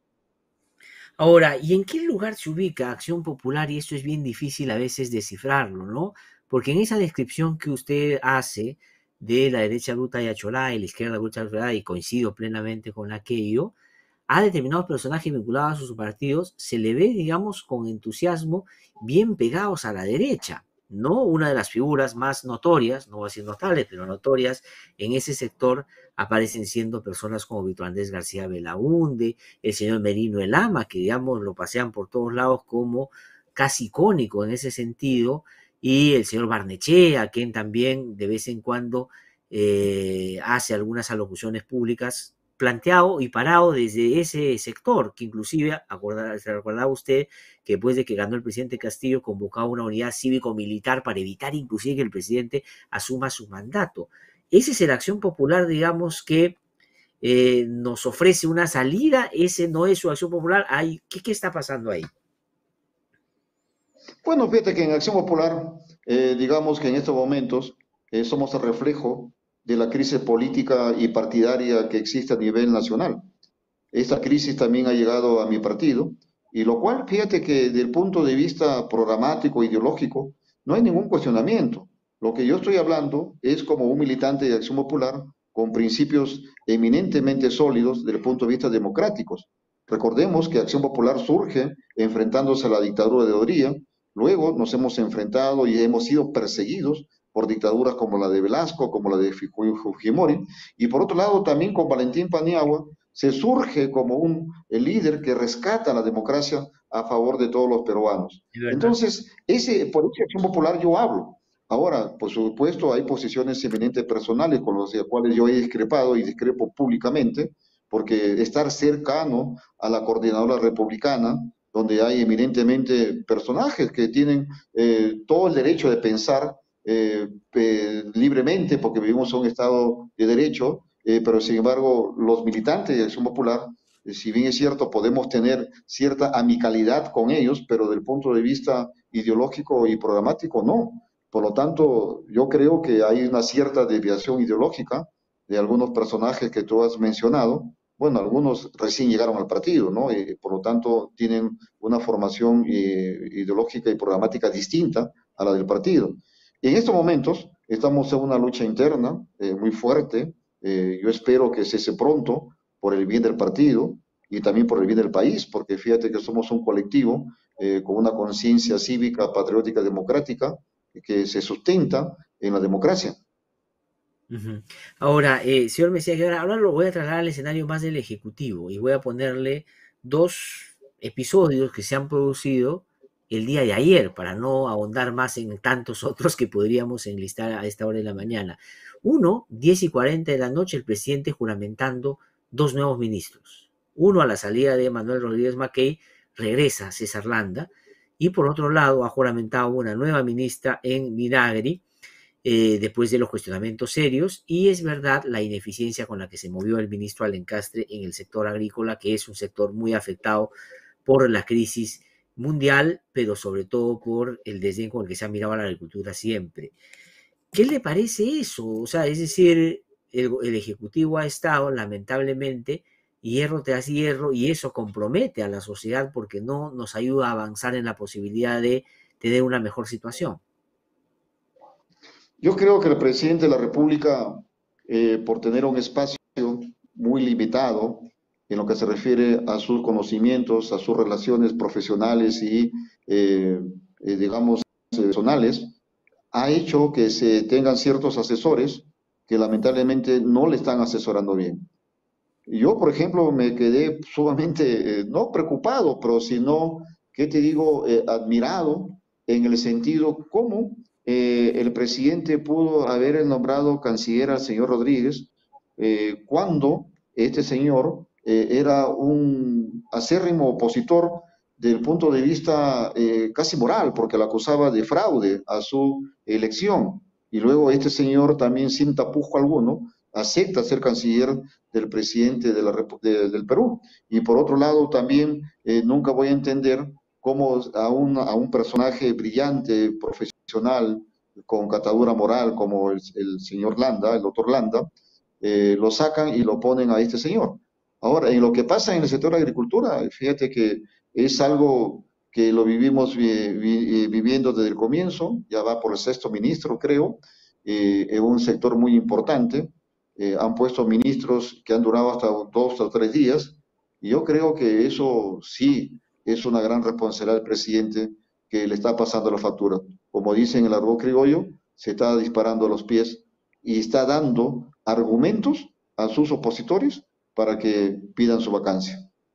Sí, y el otro elemento que también debí mencionar en la pregunta, hecho que se ha producido ayer y antes de ayer, tiene que ver con esto de utilizar el poder para obstaculizar la justicia de cada las investigaciones que se le están siguiendo a él y a sus familiares. No esta historia del coronel Colchado, que ahora, digamos, todos alaban, pero que hace un tiempo no muy largo, algunos más bien, recordará usted, en el Congreso, que usted era parte, no sé si era parte de ese Congreso, lo sometieron a las comisiones de una manera incomprensible. No, ese fue después, ¿no es cierto? Eso fue después, creo ya. Pero en fin, lo que quiero decir es, ¿usted siente que el Ejecutivo está, y el presidente en particular, muy eh, dedicado y abocado a eso, siguiendo malos consejos y tratando de obstruir la justicia, y este es solo un ejemplo de aquello? Bueno, es una reacción que el presidente de la República y creo que con sus eh, asesores han trazado esa estrategia eh, para poder de esa manera salir de esta difícil situación que él solo se ha metido. Y yo abrigo la esperanza que esto se aclare lo más pronto posible por el bien del país. Eh, y, en lo que se refiere al coronel Colchado, bueno, eh, siempre personajes como este coronel generan ciertas pasiones y sentimientos encontrados. Cuando antes él estaba en la otra vereda, era aplaudido, ahora, digamos, era criticado, ahora es aplaudido y por lo tanto creo yo sí en el fondo que el señor presidente de la República y su entorno cercano deberían de colaborar con la justicia, deberían de, eh, de colaborar con las investigaciones para que éstas se resuelvan con absoluta tranquilidad. Y también pedirle al sistema de justicia, llámese Poder Judicial, llámese Ministerio Público, que actúen en estricto cumplimiento de la ley y respetando el debido proceso. Porque fíjate que eh, muchas veces hay filtraciones de investigaciones a través de los medios de comunicación, de ciertos medios de comunicación, con lo único objetivo de tener eh, lo que ha pasado con el señor Vizcarra. Es decir, lo vacaron ya hace dos años aproximadamente y hasta ahora no hay ninguna acusación fiscal. Y dijeron en su momento que esto iba a ser rápido, pero no ocurrió así. Ahora, al parecer, eh, no quiero justificar ni tampoco rectificar de que eso podría estar ocurriendo. Por lo tanto, hay que pedir que se respete el debido proceso. Ojo, lo que está en juego no solamente es la presidencia de la República, lo que está en juego es el futuro del Perú. Ahora, para terminar, señor Mesía Guevara, agradeciéndole mucho su participación en el programa, la Asamblea Nacional de Gobiernos Regionales, de la cual usted es parte, sacó un pronunciamiento hace algunas semanas más o menos en los términos que usted plantea, es decir, póngase de acuerdo, busque una salida de la crisis, si no vamos por el adelanto de elecciones. Y pusieron una especie como de plazo para que eso pudiera darse. Ese plazo, digamos, ya está como por cumplirse y las señales no han sido claras, por lo menos, de cara a lo que ustedes solicitaban. ¿Cuánto más van a esperar? Porque además el mandato de ustedes vence ahora a finales de diciembre y van a ser otras las autoridades ya que a partir de enero eh, tomen las riendas pues de las regiones. ¿En qué va a quedar eso? Bueno, mira, eh, Glaxer, esa fue una propuesta que hizo el, el gobernador del Cusco, poner el plazo. yo creo que ahí fue una, una, ¿qué te digo? Un, no sé cómo calificarlo, fue un apresuramiento, por parte de un apresuramiento, poner fechas en cuanto a, los días, a los plazos, porque en primer lugar, eh, nosotros los gobernadores eh, no tenemos esa, ese poder como para decir, eh, por ejemplo, en 30 días, como se dijo, ¿no? Toda vez que todo esto pasa por el Congreso de la República. Es el Congreso lo que tiene que decir los plazos, en el derrotero que debemos de continuar eh, para salir de esta difícil situación. Ahora, yo en lo personal como gobernador regional de Cajamarca, eh, invoco siempre a la serenidad y a la reflexión que salgamos de esta difícil situación. Eh, los gobernadores en estos momentos, en su gran mayoría, ya estamos abocados a lo que tú acabas de manifestar, lo que es el tema de la transferencia, para dejarle al próximo que venga una, un camino libre para que puedan ellos realizar una gestión a favor de, los pueblos, en este caso a favor de mi región. Y en eso nosotros estamos más abocados, pero por supuesto sin perder de vista lo que significa la coyuntura política nacional y eh, lo que nos corresponde hacer. Y en este caso, ¿qué es lo que nos corresponde hacer? Hacer una transferencia seria, responsable y transparente al que venga, y asimismo también hacer la invocación pertinente al Ejecutivo y al Congreso que salgamos urgente de esta difícil situación. Y ojalá sea pronto aquello. Eh, señor Mesía Guevara, muchísimas gracias por haber conversado con nosotros. Siempre es un gusto tenerlo en el programa. Que le vaya muy bien en su gestión y seguramente tendremos alguna otra oportunidad para seguir conversando. Muy amable, ¿eh? muchísimas gracias sí, bueno, por atender. personal de el mundo privado. Gracias. Ya, muchísimas gracias, muy amable. Ha sido Mesías Guevara, gobernador regional de Cajamarca, que ha conversado con nosotros. ¿Qué hago, Calito? ¿Tomamos una pausa o nos vamos a nuestro recorrido por las regiones con nuestros corresponsales de la Red Nacional de IDL Radio. Vamos a nuestra eh, a contactarnos con nuestros corresponsales. Vamos a irnos a Huancayo. Ahí está Efraín Rojas, nuestro gran amigo con la información. Efraín, ¿cómo estás? Muy buenos días. Muy buenos días, la certuesta irrumpe en ceremonia del 197 aniversario de creación del departamento hoy Región Junín bajo el grito Orihuela cumple tu palabra piden audiencia inmediata para firmar convenio, pero policías los retuvieron entre las arterias de Paseo La Breña y Real en la ciudad de Huancayo. Cientos de vecinos del distrito de San Jerónimo de Tunán, provincia de Huancayo, región Junín, sorprendieron la imponente ceremonia que se desarrollaba en la Plaza Constitución de la ciudad. Sorpresivamente, un grupo bullicioso realizaron esta protesta por el incumplimiento de obras prometidas por el gobernador Fernando Orihuela. Los manifestantes, cansados de ser burlados durante tres meses, optaron por esta protesta liderados por el burgomaestre del distrito, llegando a tener roces con efectivos de la Policía Nacional.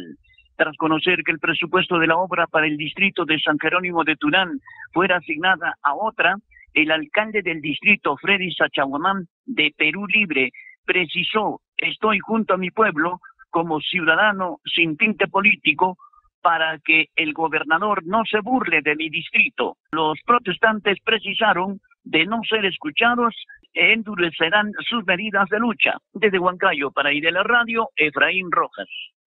Muchísimas gracias, Efraín, por esa información desde Huancayo, en la región Junín. Vamos a irnos a Huánuco. Yuri Valdivieso, amigo y colega, con la información. Yuri, ¿cómo estás? Buenos días. Buenos días, amigos de IDL Radio. En Huánuco, el gobierno regional autorizará la continuidad de una obra que ha sido objetada para la Oficina de Control Institucional porque la empresa presentó cartas fianzas que no son avaladas por la Superintendencia de Banca y Seguros. Esto debido a la presión del pueblo de Tingo María que quiere que se continúe la construcción del puente Tingo María Castillo Grande. Situación que seguramente más adelante va a generar problemas de índole legal a la actual gestión del gobierno regional. La presión de la población de Tingo María ha hecho de que inclusive el administrador del gobierno regional renunciase en público en la sesión discrepando con los gerentes del gobierno regional. Crisis entonces en el gobierno regional por la presión de la población de Tingo María para que continúe la construcción del puente Tingo María Castillo Grande. Desde Huánuco para la Radio, Yuri Valdivieso Cubillos. Muchísimas gracias Yuri por esa información desde Huánuco. Vamos a irnos ahora, me dicen a Puno, Percy Galizaya con información. Percy, ¿cómo estás? Buenos días. Buenos días, información de la región altiplánica. El gobernador regional encargado de Puno, Germán Alejo, dijo no tener miedo a las autoridades de la vecina región de Moquegua, que entablaron denuncias en su contra por haber inaugurado una obra en la zona limítrofe de Pasto Grande. Durante una visita en el distrito de Cojata, Huancané, la autoridad regional se refirió a los problemas limítrofes que tiene la región con jurisdicciones vecinas, además de las necesidades que se tienen en dichas zonas.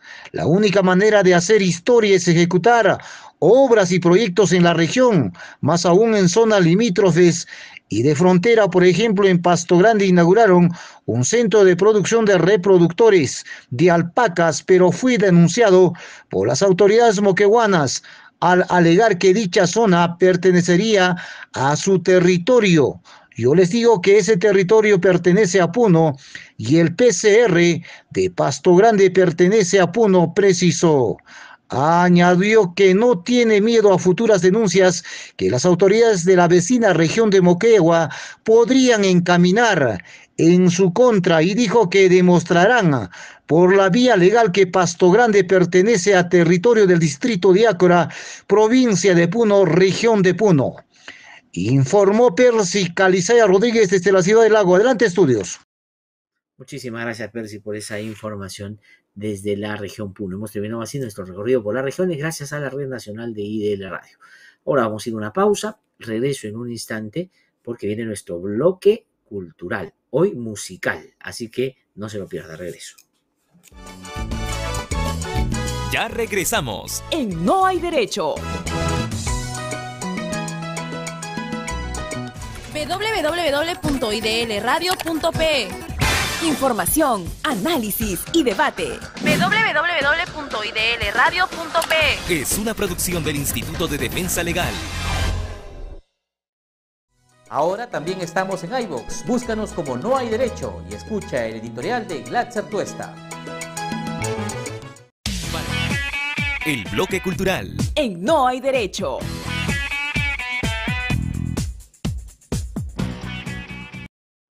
Estamos de vuelta aquí en nuestro bloque cultural, digamos, totalmente ya sintonizados con este espacio que nos permite todos los días dar a conocer un montón de expresiones de arte y de cultura que son de lo más interesantes, de lo más importantes y de lo más, diría yo, en algunos casos apetecibles, cosa que vamos a, por supuesto, hoy día referir en torno a una invitación concreta que le vamos a hacer para que vaya usted a un concierto que va a disfrutar seguramente eh, mucho, va a disfrutar tremendamente.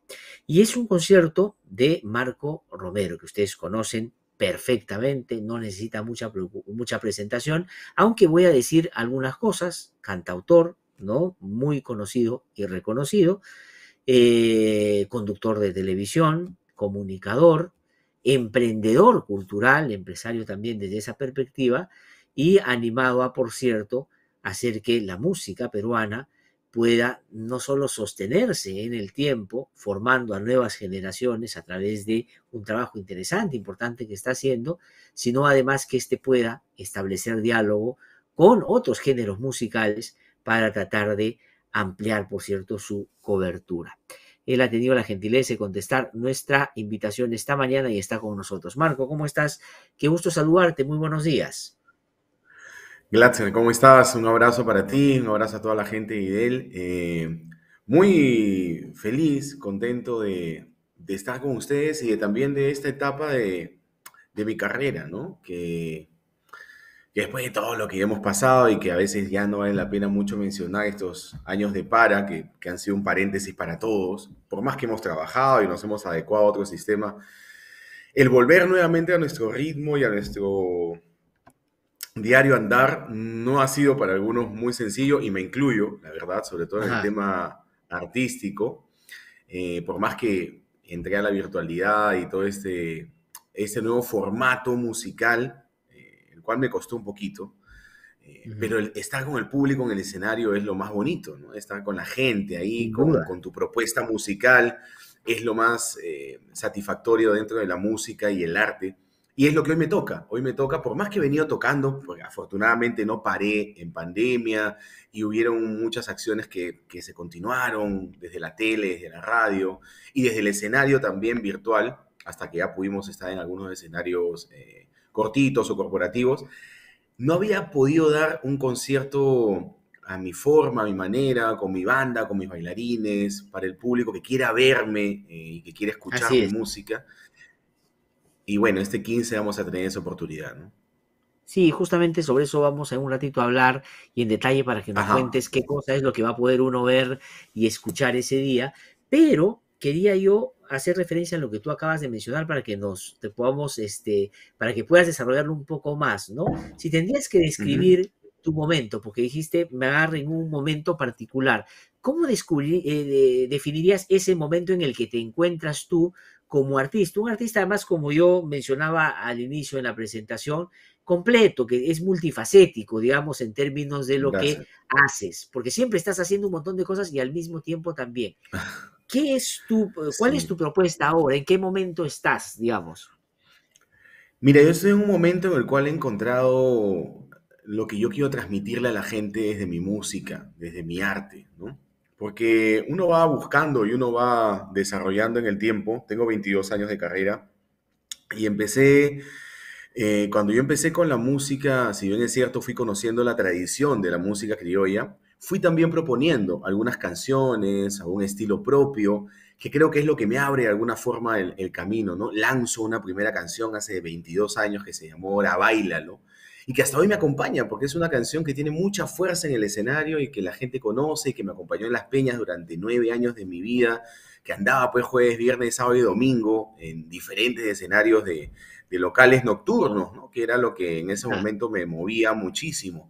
Entonces, hoy en día he encontrado en mi música ese rescate de, este inicio musical, pero en una madurez distinta, lógicamente con mucho aprendizaje de la tradición también criolla, el cual hoy comparto semanalmente con Bartola, por ejemplo, que tiene cincuenta y tantos años de carrera artística, de la cual yo absorbo también muchísima experiencia. He conocido y he sido amigo de Óscar Avilés, he conocido y mi maestro de, de, composición ha sido Mario Cabañaro, he tenido el cariño y la amistad de Pepe Vázquez, del lado afroperuano, los hermanos Valelomar, Lucila Campos, he conocido a este Granado, soy amigo de la familia de Panchito Jiménez, soy amigo de los Añartu, conozco a Fabiola Cuba, Eva Young.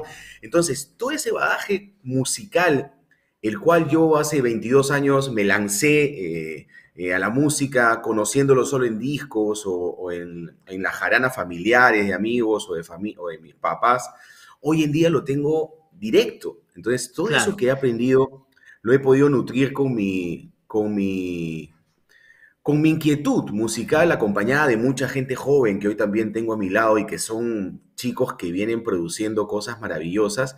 Entonces hemos armado un concepto musical interesante que parte lógicamente de lo criollo, que es mi raíz y que es lo que yo hago, pero también proponiendo algunas cosas, ¿no? En octubre lancé, por ejemplo, el año pasado la primera canción de lo que va a ser el disco Mi lugar bendito con Renata Flores, que es una artista de hip hop que canta en quechua, ¿no?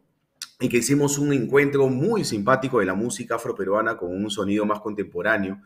Después saqué una canción con César Vega, que es una zamacueca, pero por ahí con un saborcito latino. Acabo de sacar hace poquito una canción que se llama Que me lleve el viento. Y todos con videoclips que tienen que ver con el Perú, con lugares muy lindos. El, último que me lleve el viento lo grabé en el convento de los descalzos, que para mí pues tiene mucha historia, ¿no? Mis abuelos celebraron ahí sus bodas de plata. Está en mi barrio, en el Rímac, la Alameda, que he recorrido toda mi vida. Entonces todo tiene que ver con mi entorno, con mi vida, con con mi día a día en estos 48 años de edad, eh, que me han permitido, pues, de alguna forma enamorarme muchísimo más de mi peruanidad, de mi música criolla, reconocer otros géneros maravillosos, como el caso de la cumbia que me gusta, de la salsa, eh, el caso de los nuevos géneros también que van entrando, ¿no? Este pop más urbano, andino, por ejemplo, que se está moviendo y que, y que Milena Watton, por darte un nombre, lo está haciendo súper bien, que me acompañará también en este concierto. Entonces creo que eso es, eso es, ¿no? Estoy en un momento, digamos, creo, eh, mucho más claro de mi, de mi posición musical, que va desde la tradición, que me encanta y siempre por ahí cantaré Mechita, Gloria, Alma, Corazón y Vida y algunas canciones de Mario Cabañaro y etcétera, pero también proponiendo... Eh, una, una, imagen distinta al criollismo, y creo que eso es lo que hicieron los grandes. Cuando yo conversé con Oscar Avilés, mira, tuve la suerte de encontrar un personaje, cuando él me decía, yo fui un innovador y un visionario de la música criolla, tú comienzas a darte cuenta y dices, sí, pues, claro, él, él incorporó el bongo en la música afroperuana, incorporó un toque nuevo a la guitarra, hizo que los Añartu canten música criolla, hizo balseando festejos, o sea, la innovación siempre estuvo en la música criolla. Hoy en día pareciera que, es solamente tradición, pero esa tradición siempre se fue transformando y siempre se fue moviendo de alguna u otra manera con diferentes productores y con, con personajes nuevos dentro de la música. Y una de las, digamos, eh, consecuencias de que la gente así lo entiende y lo interpreta es el éxito que tiene, digamos, este recorrido que tú nos has, has descrito y has desarrollado, porque tú has hablado de lo que a ti en términos personales como artista y como creador te ha significado y te ha nutrido. La otra contraparte de eso es cómo la gente ha asimilado eso que tú lo has propuesto y la gente lo ha asimilado muy bien y de hecho muchas de tus canciones han terminado siendo emblemáticas, icónicas en lo que refieren y cantan, digamos, una cuestión intergeneracional inclusive lo que creo yo es la muestra más clara de que esto sí está funcionando y así le gusta a la gente, ¿no? Sin perder, como tú dices, la esencia y la naturaleza esa que te acompaña, inclusive cuando nos cuentas estas cosas, ¿no? Ese entusiasmo es un entusiasmo que te viene después de la esencia, ¿no? Ahora vamos justamente a lo que va a pasar el día de mañana, jueves 15 de septiembre, va a ser en el Centro de Convenciones Bianca, en Barranco, que además es un centro de convenciones magnífico. ¿ah? O sea, he tenido la posibilidad de ir y tiene todas las condiciones para que esto sea de lo mejor. Pero cuéntanos un poquito de mi lugar eh, este, bendito, que es efectivamente una canción que hiciste con Renata Flores, que a mí me encanta también, el video este, en Ayacucho, en Quinoa, todo, digamos, el patrimonio que muestran también, que es lo que tú siempre haces. ¿Qué más vamos a ver quienes vayamos a, eh, mañana a verlos? ¿Quiénes te van a acompañar? Mira, vamos a, pasar una noche primero de amigos, porque esa es mi, mi particularidad siempre cuando hago un espectáculo, ¿no? Yo no soy, digamos, de, tengo un esquema de, show que va de principio a fin y algunas cosas que ya están marcadas y pautadas, pero, pero me gusta tener una noche de amigos, una noche de conversación, una noche de diálogo, una noche de contarles un poco mi vida, de, pasarla bien, de disfrutar, como te digo, con la música tradicional y también con, con las nuevas alternativas, con mi nueva propuesta. Y me acompañará Milena Wharton, una jovencita que, que va avanzando súper bien y que me encanta lo que hace, tiene una particularidad en su voz, en su detalle musical, en lo que viene proponiendo en el pop andino, ¿no? Eh, César Vega, que ha grabado también y forma parte de, mi disco, que lleva por título Mi lugar bendito, que es el nombre de este espectáculo también. Y mi gran Bartolita, que, que yo tuve la suerte de, de poder incorporarme a, a, Una y Mil Voces, que es el programa de televisión que conducimos los dos, y, y que ya tengo cinco años con ella y, y bueno, y ha sido para mí una experiencia y sigue siendo cada vez que grabamos y nos reunimos en la semana, una experiencia increíble, ¿no? Porque ella tiene una sapiencia enorme, tiene un recorrido de más de 50 años en el escenario. Eh, y, bueno, y es una persona con mucho conocimiento y, sobre todo una memoria increíble, entonces recuerda cosas que yo digo, en serio, y eso era así, y eso era así, y eso era... Entonces me voy nutriendo de la fuente real, ¿no? Como te digo, he podido caminar con grandes eh, de la música, que muchos de ellos, o casi la, la gran mayoría que te he mencionado, ya no están con nosotros, están fallecidos, pero hoy en día tengo la dicha y la suerte de estar con un personaje icónico también como Bartola y que me, acompañe, y, que me acompañe en este concierto, ¿no? Así que le vamos a pasar súper bien. Van a estar también eh, muchachos con una nueva propuesta que se llaman ¿Qué tal Afro? Y estos chicos van a estar abriendo el show. Son chicos de 22 años y, y te cuento que ellos han apostado por la música afro-peruana y criolla. Les está yendo súper bien, tienen una, una una fuerza ya de seguidores que va creciendo día a día y que justamente la idea es esa, ¿no? Eh, promover. Yo creo que en esta etapa de mi carrera, si bien es cierto, tengo que seguir haciendo y quiero que más gente me conozca, afortunadamente porque yo creo en ti, Vamos Perú, las canciones que me ligaron al fútbol hicieron que se hable el espectro musical y de imagen de mi carrera, pero se necesita que nazcan nuevas imágenes, que nazcan nuevos jóvenes, que, que los jóvenes sepan que hay gente como ellos de 20, 22 años que disfruta de la música peruana, de la música criolla, que lo hacen súper bien y que lo lleva también a esta fiesta de noche que la puedes vivir en una discoteca con cajón y con guitarra y que, y que te puede llevar al éxtasis alucinante como te puede llevar cualquier reggaetón, ¿no? Entonces, esa es La, la, idea. Esa es la idea de la propuesta, la gente va a poder... Se está dando, ¿no? Es una idea que yo creo que ya se está dando y ha terminado siendo, digamos, ahora que estamos de a poco retomando eso que previo a la pandemia probablemente hacíamos con más frecuencia, uno en las reuniones familiares, de amigos y todo, escucha tu música, escucha esta música y le encanta y la baila y la siente, ¿no? Y se vincula. y eso es. bien importante porque nos permite, como tú bien dices, en esta propuesta de mañana, estar entre amigos, ¿no? Y eso creo que es una cosa también que le da mucho tu, tu arte, ¿no? Entonces, eh, Marco, para invitar, para, para invitar, mañana entonces ¿Cómo hacemos? Están preguntando aquí que nos siguen, ¿cómo hacemos? Ahí está el, el, Mira, flyer, mañana, pueden abrir, por favor, para que Marco lo pueda El flyer.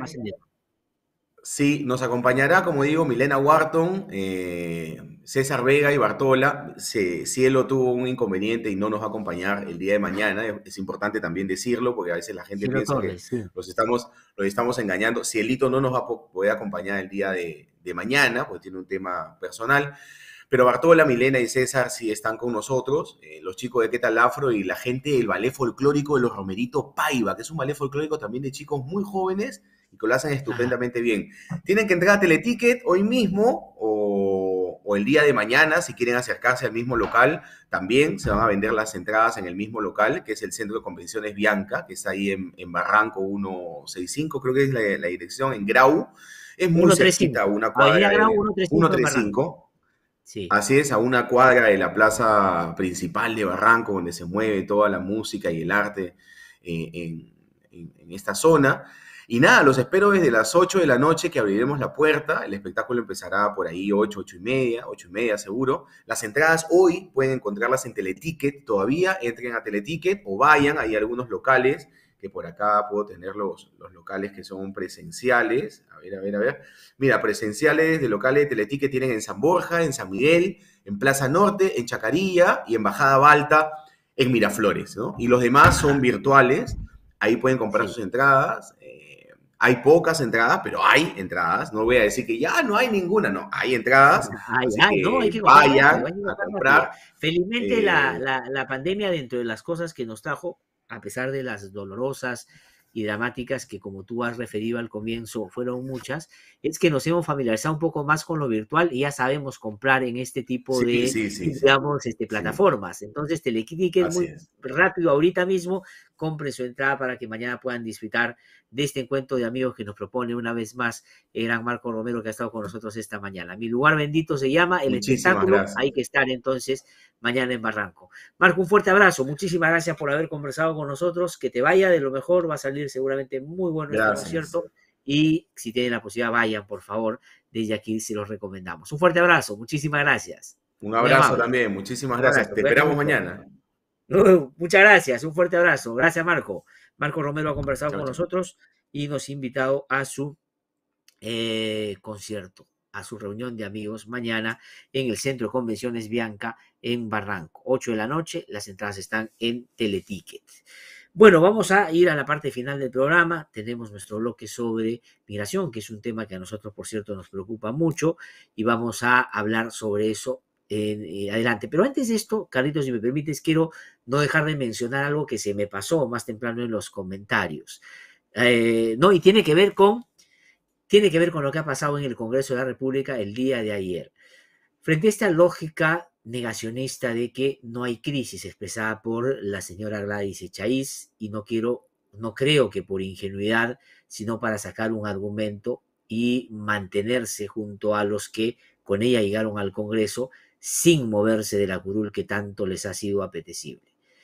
Con el argumento de la señora Patricia Juárez, de que si hay personas que están diciendo adelanto elecciones, ¿por qué no le facilitamos la vida? Saquemos una ley que puedan renunciar y que se vayan si siente que no trabaja. O sea, les ha dicho vagos a los que están proponiendo el adelanto de elecciones. Y desde las posturas de la señorita Tudela o el señor Cabero, de que aquí ellos no son el problema, y el problema es claramente el presidente Castillo, el único que ha generado toda esta inestabilidad, y si es que no lo sacamos, van a pensar que ellos también son responsables. Esos son los argumentos para no ir a una discusión seria sobre el adelanto de elecciones. Pero hay otro elemento que ha hecho que todos ellos se junten y se junten con otros que además hacen parte de otras bancadas como Perú Libre o el partido que está relacionado con el presidente de la República y tiene que ver con el grupo magisterial, el grupo de maestros que lo acompaña hoy día en el Parlamento. Y puede ser este, es decir, en realidad el interés puede ser más mundano, la justificación puede ser la que expresen, pero en el fondo la realidad manda y es esta. Miren ustedes este cuadrito que ayer publicó Martín Hidalgo, a quien se lo agradecemos por cierto, es una comparación entre los ingresos anuales que consignaron algunos congresistas en su hoja de vida siendo candidatos el 2019 y los ingresos anuales que tienen ahora como congresistas y el porcentaje de cuánto esto se ha incrementado a propósito del salto de una condición a otra. Patricia Juárez, por ejemplo, en su hoja de vida consignó 192.100 soles como ingreso anual el 2019 y gana ahora 218.400, que es lo que ganan los congresistas. Aumentó 14%, digamos, razonable, no es mucho, no se puede decir que ahí aplica del todo. Adriana Tudela de Avanza País tenía un ingreso de 174.673 a 218.400 ha subido un 25%. Pero de aquí en adelante, miren ustedes el dato, José Balcázar de Perú Libre, que han votado o están, están en contra o se han opuesto a- abiertamente al adelanto de elecciones, él es de Lambayeque, tenía un ingreso de 120 mil soles. Ahora gana 218 mil 400, 82% más de lo que ganaba antes de ser congresista de la República. La señora Gladys Echaíz, que no ve crisis por ningún lado, ¿no? Eh, ganaba 105 mil 34 soles y ahora gana 218 mil, 108% se ha incrementado su remuneración cambiando de condición. Heidi Juárez, de Alianza para el Progreso, representa Piura, ganaba 50 mil soles más o menos, hoy gana 218 mil, 332% ha aumentado su remuneración, su ingreso mensual. El señor Alejandro Cabero, tan defensor de la impunidad en el Congreso, ganaba 48.260, ¿no? Ahora gana 218.400, 353% de incremento en su remuneración. El señor Guido Bellido, no tan lenguaraz y pura boquilla, porque en realidad cuando fue primer ministro no hizo, nada que eh, importante para cambiar las cosas que decía aborrecer, ganaba 33.700, gana ahora 218.400, 548%. de incremento en su ingreso mensual. O sea, por cinco y medio se multiplicó su ingreso.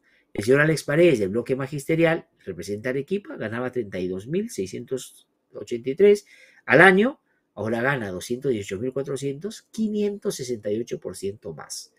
Entonces, entre lo que justifican de la boca para afuera y lo que la realidad dura y pura manda, evidentemente esto pesa también para que se empernen en sus curules y no lo muevas ni con una grúa. Por eso es que el adelanto de elecciones me da la impresión no va a prosperar porque no está en la proyección, el cálculo de quienes hoy día están en el Parlamento. Pues bueno, termino entonces aquí estos comentarios.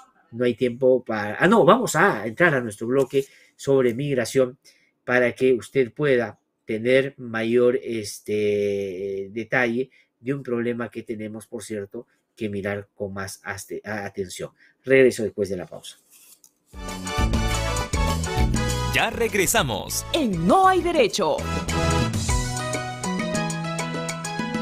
Para estar siempre informado en lo político, en lo social. Para escuchar voces diferentes y no siempre lo mismo. Para saber de lo que nadie se atreve a denunciar. www.idlradio.pe Con análisis de verdad. Es una producción del Instituto de Defensa Legal. Ahora también estamos en Spotify. Búscanos como No hay derecho y escucha el editorial de Glatzer Tuesta. Continuamos en No hay derecho.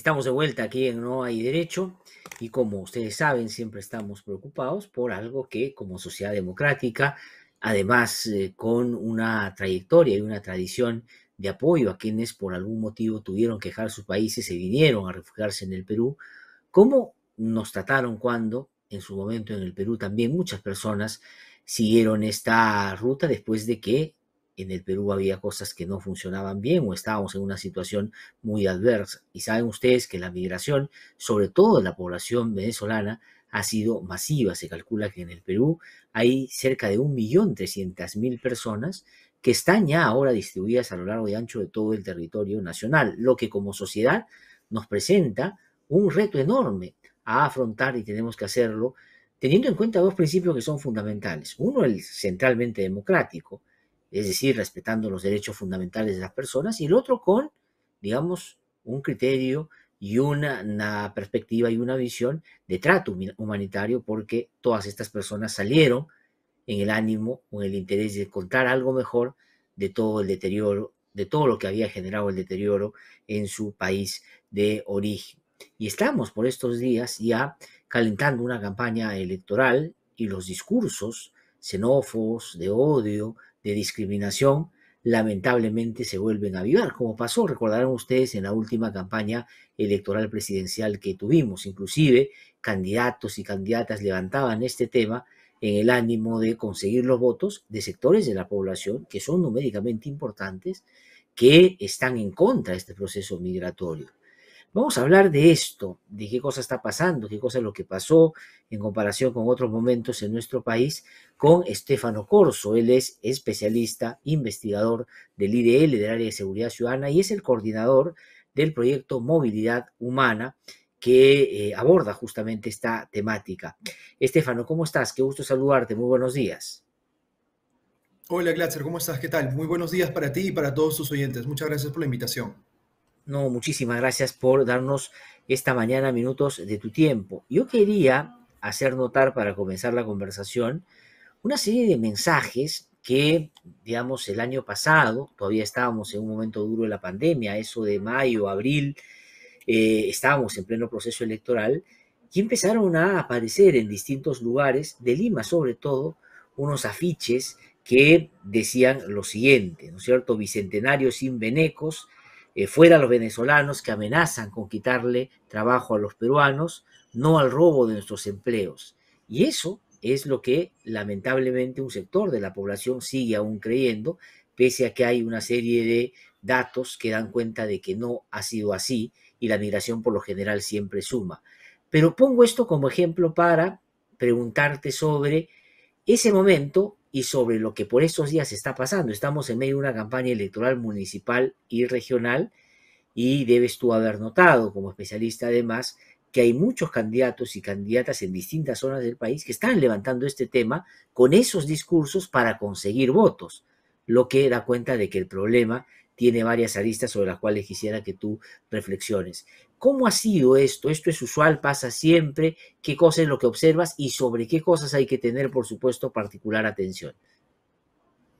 Sí, totalmente. Bueno, a ver, en principio creo que sí sería bueno señalar, como mencionaste tú, que eh, el contexto de la campaña electoral del año pasado quizás fue un poco distinto al que vemos ahora, ¿no? Sobre todo por las preocupaciones o las principales preocupaciones que aquejaban a la ciudadanía.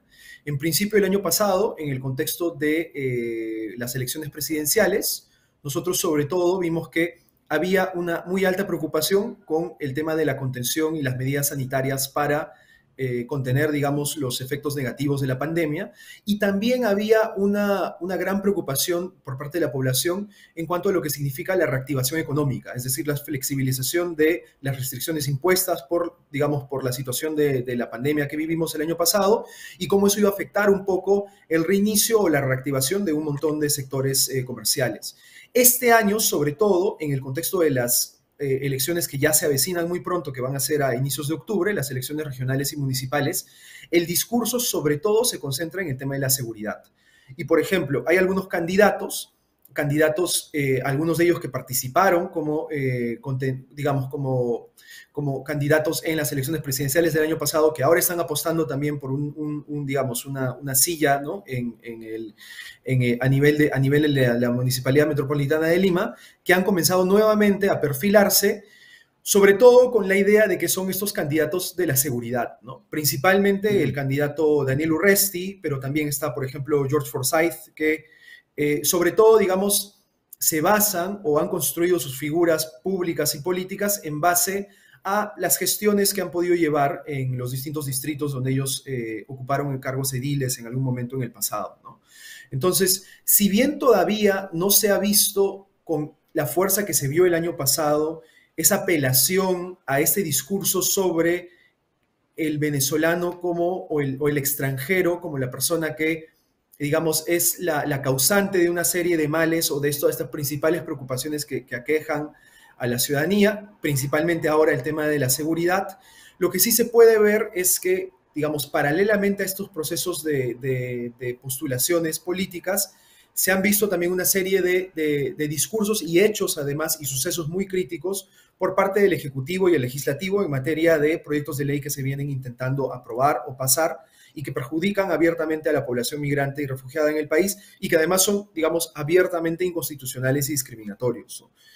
Sí, vamos en un ratito a hablar más a profundidad sobre esos eh, proyectos, tanto el Ejecutivo como lo que se ha aprobado en el Congreso, pero quisiera quedarme en esta comparación que tú planteas. Es verdad, el año pasado todavía, aunque ahora estamos saliendo de la pandemia, pero estábamos el año pasado sometidos a dinámicas de mayor restricción, todavía no había una eh, reactivación económica que uno podía decir ya satisfactoria y había reclamos de distintos sectores por más atención del Estado frente a lo que había dejado efectivamente la pandemia.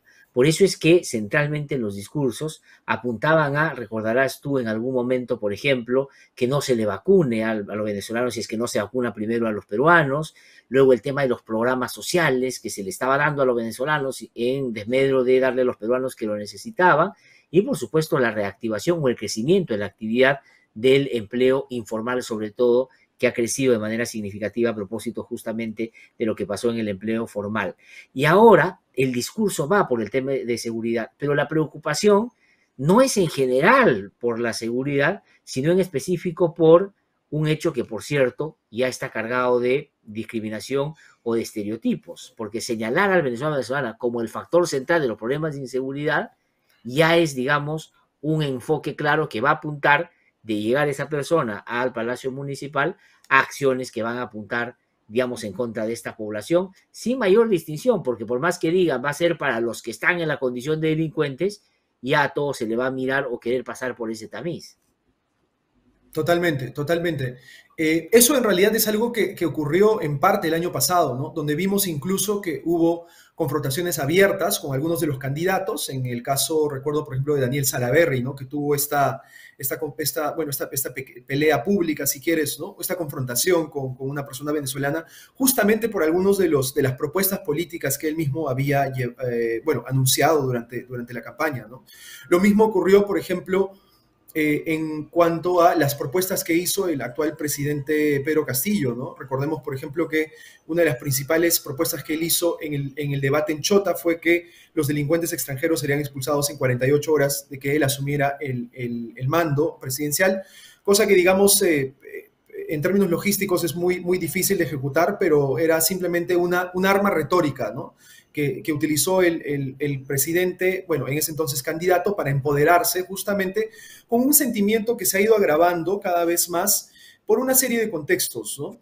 Lo que, lo que debemos recordar es que hasta el inicio de la pandemia, la aceptación que había por parte de la población peruana hacia la comunidad extranjera que había llegado al país era bastante favorable. Sin embargo, por el mismo hecho de que la pandemia recrudeció una serie de condiciones y, de situaciones de vulnerabilidad de la propia población nacional, es que ha habido como que esta, esta necesidad de buscar ¿no? una, una, un, una causante o, o causantes de, de, estas, de estos problemas que han surgido y ha sido muy fácil eh, y además políticamente muy favorable para muchos para muchos políticos en el país, digamos, apelar a ese discurso, ¿no? Apelar al discurso de que, pues, los extranjeros tienen la culpa de cosas puntuales o si no de todo, ¿no? Eh, además, porque recordemos que son, digamos, es una población que no tiene, digamos, una voz pública o política o, o, defensores en el país, entonces no hay manera de que ellos puedan contrarrestar por su propia cuenta ese discurso, ¿no? Ahora, porque además quienes salen, y nos ha pasado a nosotros, porque en una, más de una oportunidad o a través de las redes, otros medios, digamos, somos también objeto de una serie de agravios justamente por cumplir este papel, es que, claro, se nos acusa y se nos vincula de protección de la delincuencia o de favorecer a los extranjeros por encima de los peruanos.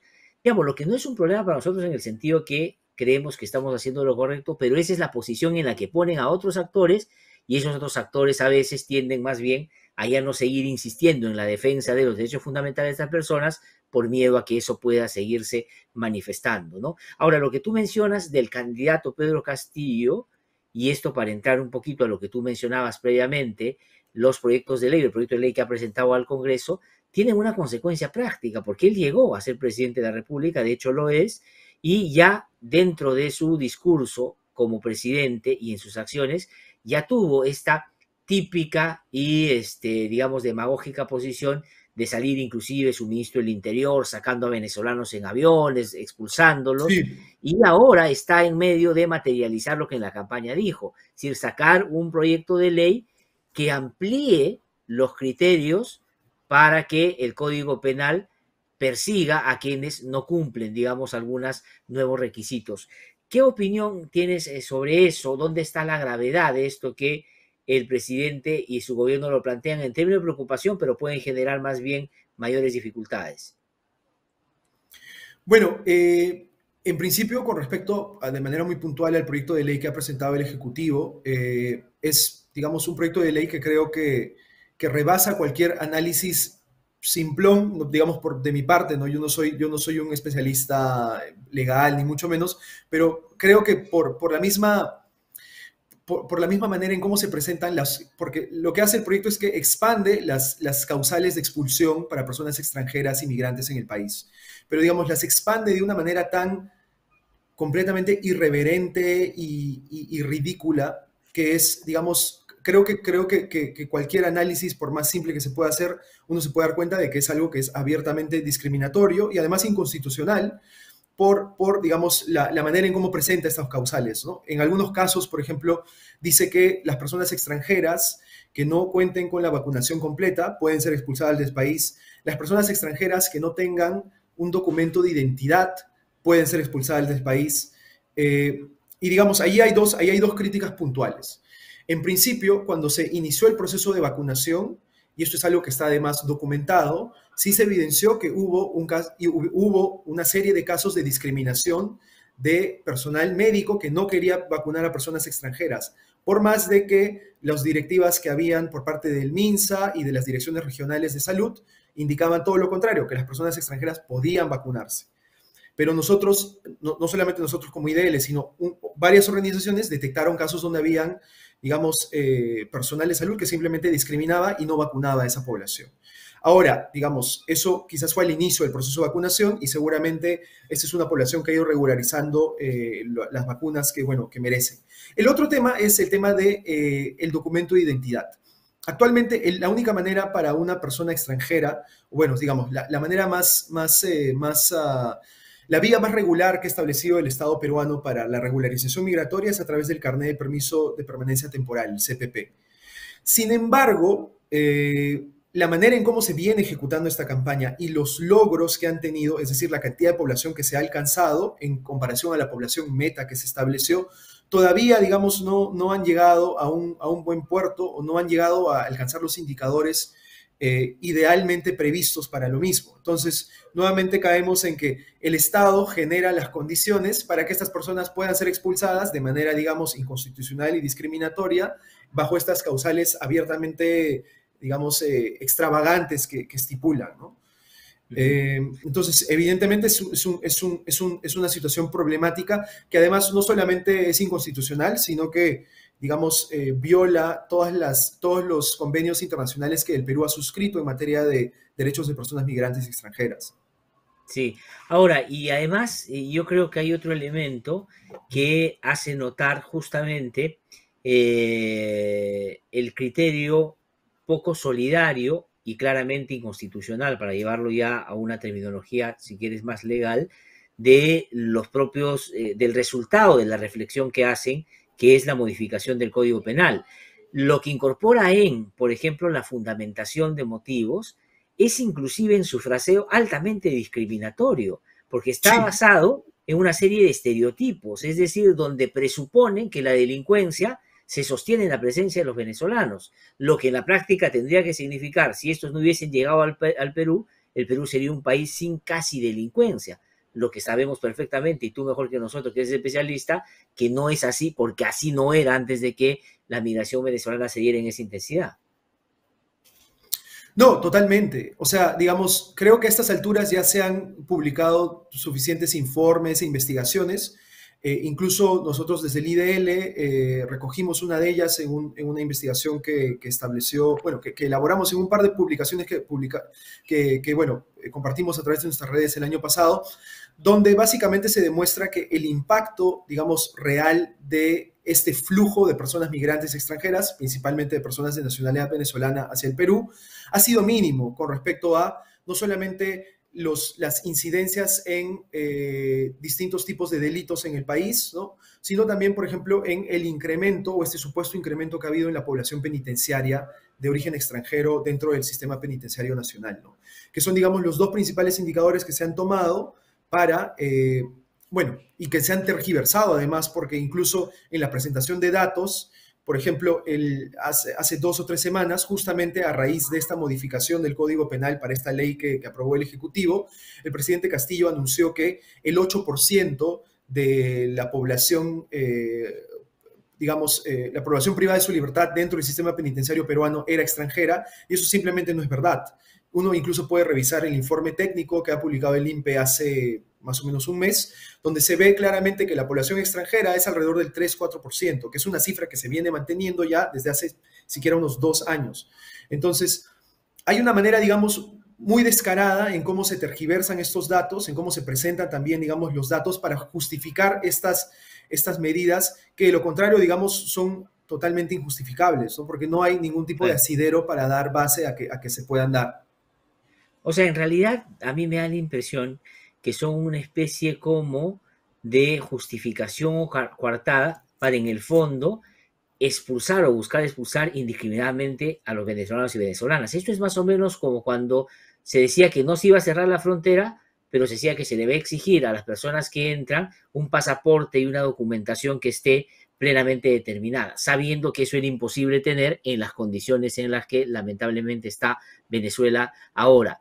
Y el otro elemento que tiene que ver con lo que está pasando a contracorriente en algunos otros lugares, sobre lo cual me gustaría también tu opinión, ¿no? Por ejemplo, Colombia acaba de eh, restablecer relaciones con Venezuela y han establecido otra vez un flujo de intercambio que había estado cortado en los gobiernos anteriores. Lo que quiero decir es que la lógica podría, si el gobierno encamina sus acciones en la dirección de los vecinos, digamos, de buscar una salida más bien regional al problema que nos está afectando a todos.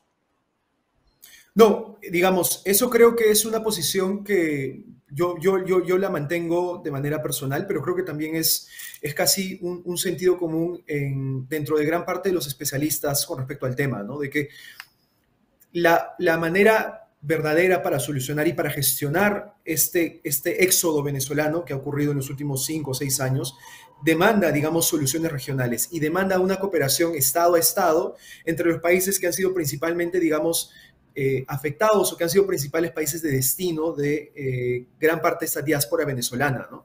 Una de las cosas, por ejemplo, que nosotros nos pudimos dar cuenta cuando visitamos la zona de la frontera norte en, en Tumbes el año pasado, era que eso simplemente no se daba, ¿no? Lo que ocurría, por ejemplo, según los, los testimonios que nosotros pudimos recoger, es que cuando hubo el cierre de fronteras, la policía ecuatoriana esperaba a que sea, digamos, a las altas horas de la noche y la madrugada para permitir que todas las personas venezolanas que estaban, digamos, contenidas en la zona de la frontera de, de Huaquillas, que es la parte de Ecuador, Ajá. pasen simplemente por las trochas a Perú, ¿no?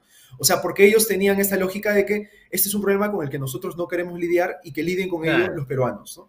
Y eso es algo que ocurre en la frontera de Colombia con Ecuador también. Entonces, no hay, digamos, ningún tipo de, de, de- de- de intento o de espíritu de querer re- solucionar esto de manera, de manera co- co- cooperativa o de manera coordinada y a nivel regional. Y tampoco hay ningún intento, como bien mencionas, eh, Glatzer, de querer coordinar eh, esto con, digamos, si queremos, si queremos decirlo así, con las dos representaciones que tiene actualmente el, bueno, el, Estado venezolano, ¿no? Bueno, una, de, una en, todo, caso, porque hay una que, que, pues, que, que no, no, no ha llegado a buen puerto, ¿no? Más aún en el contexto actual, donde a raíz de eh, la crisis en Ucrania por la guerra, el- la alza del precio del crudo del petróleo está repotenciando hasta cierto punto la economía venezolana y está generando estos flujos de retorno que se han vuelto cada- que se están volviendo cada vez más comunes, ¿no? Y que los vemos no solamente desde Perú, sino también desde Ecuador.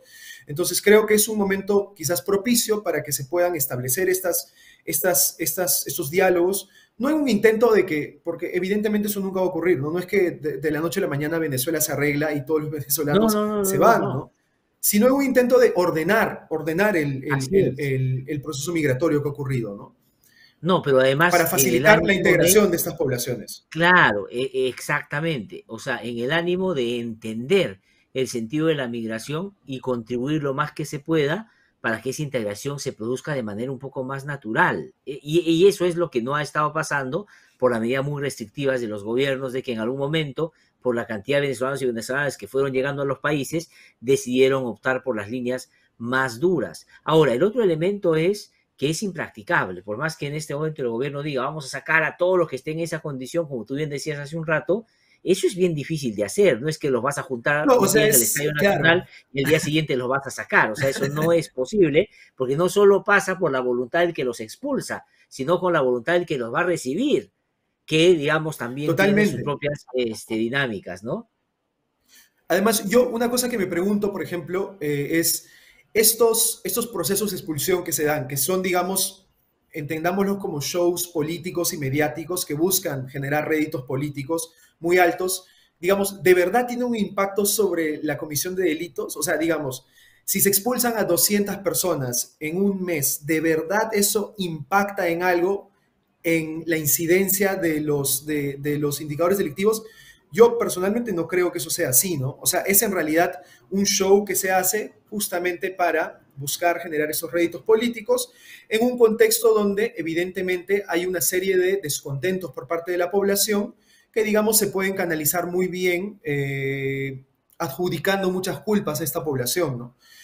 Además, por ejemplo, recordemos que el Estado peruano ha sabido aprovechar estos contextos, digamos, coyunturales y polémicos y, y- y escándalos, si quieres, públicos, para justamente establecer o, o implementar estas políticas, eh, digamos, eh, perjudiciales y, y, xenófobas, ¿no?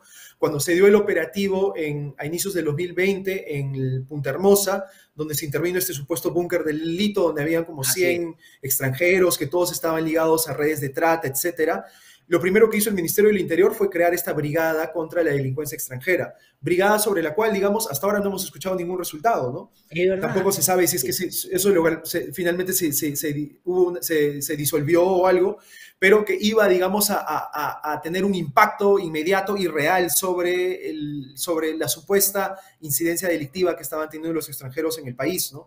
Hace dos o tres semanas más o menos se realizó un mismo operativo en San Juan del Urigancho, donde además se rescataron a casi 100, 200 mujeres venezolanas y colombianas principalmente, pero algunas otras, de algunas otras nacionalidades también, que estaban siendo básicamente explotadas como esclavas sexuales. Y digamos, el, operativo policial y la intervención policial que ha habido de ese, de ese operativo ha sido bastante, bastante limitada, ¿no? Incluso hasta el punto de que la prensa en un momento señaló que la policía solamente estuvo en el local como que un día y de ahí simplemente dejó de ir y nuevamente las personas que estaban pululando por ese espacio y que digamos estaban vinculados a estas redes de trata y microcomercialización de drogas, bueno, como que llegaron y se establecieron nuevamente, ¿no? Sin ningún tipo de problema. Entonces, eh, digamos, ¿cuál es, el, ¿cuál es el efecto real de estas, de estas medidas que son altamente visibles? Yo la verdad no creo que, que, sea bastante. Esto, digamos, se puede, guardando las distancias, de alguna manera aproximar a eh, lo que se llama pues este populismo punitivo en otros temas de seguridad también, ¿no? Cuando se anuncia pena de muerte, cuando se anuncia eh, que van a incrementar las penas a determinadas personas que cometen determinados delitos, la castración química, que suenan, generan bulla, digamos, dan la sensación de que se están haciendo cargo del problema, pero en la práctica no resuelven absolutamente nada, por una razón muy sencilla, porque son, para comenzar, impracticables, es decir, solo ponerlas en acción significaría cambios muy importantes. Para ir terminando, pero has señalado tú el accionar del Ejecutivo con una propuesta que claramente no busca solucionar el problema, sino puede terminar generando más bien algunos otros, pero el Congreso, en esta lógica de tensión con el, con el Ejecutivo, tendría una muy buena eh, tema para contrapesar al Ejecutivo en esta materia, pero sin embargo, ellos por su lado están siguiendo la misma ruta también, porque acaban de aprobar una serie de cosas que van en el sentido muy parecido al Ejecutivo. Sí, eh, lamentablemente, eh, bueno, el Ejecutivo, eh, perdón, el Legislativo juega la pared con el Ejecutivo en este tema, ¿no? Al menos desde el 2019, 2018 se han presentado alrededor de 50, 60 proyectos de ley, digamos, que buscan de alguna u otra manera perjudicar la situación de las personas migrantes refugiadas en el país. Y, digamos, tienen eh, una serie de, competencias y, una serie de especificidades que, son, son, abiertamente inconstitucionales y abiertamente, digamos, violatorias de los, de, los tratados que ha suscrito el país en materia de, derecho migratorio pero que simplemente como que hay un, no es que hay un desconocimiento, ¿no? sino que hay un, no querer reconocer eso porque no les importa, porque, bueno, hay esta idea de que uno puede hacer lo que quiere cuando tiene simplemente el, el, fajín de, congresista. ¿no?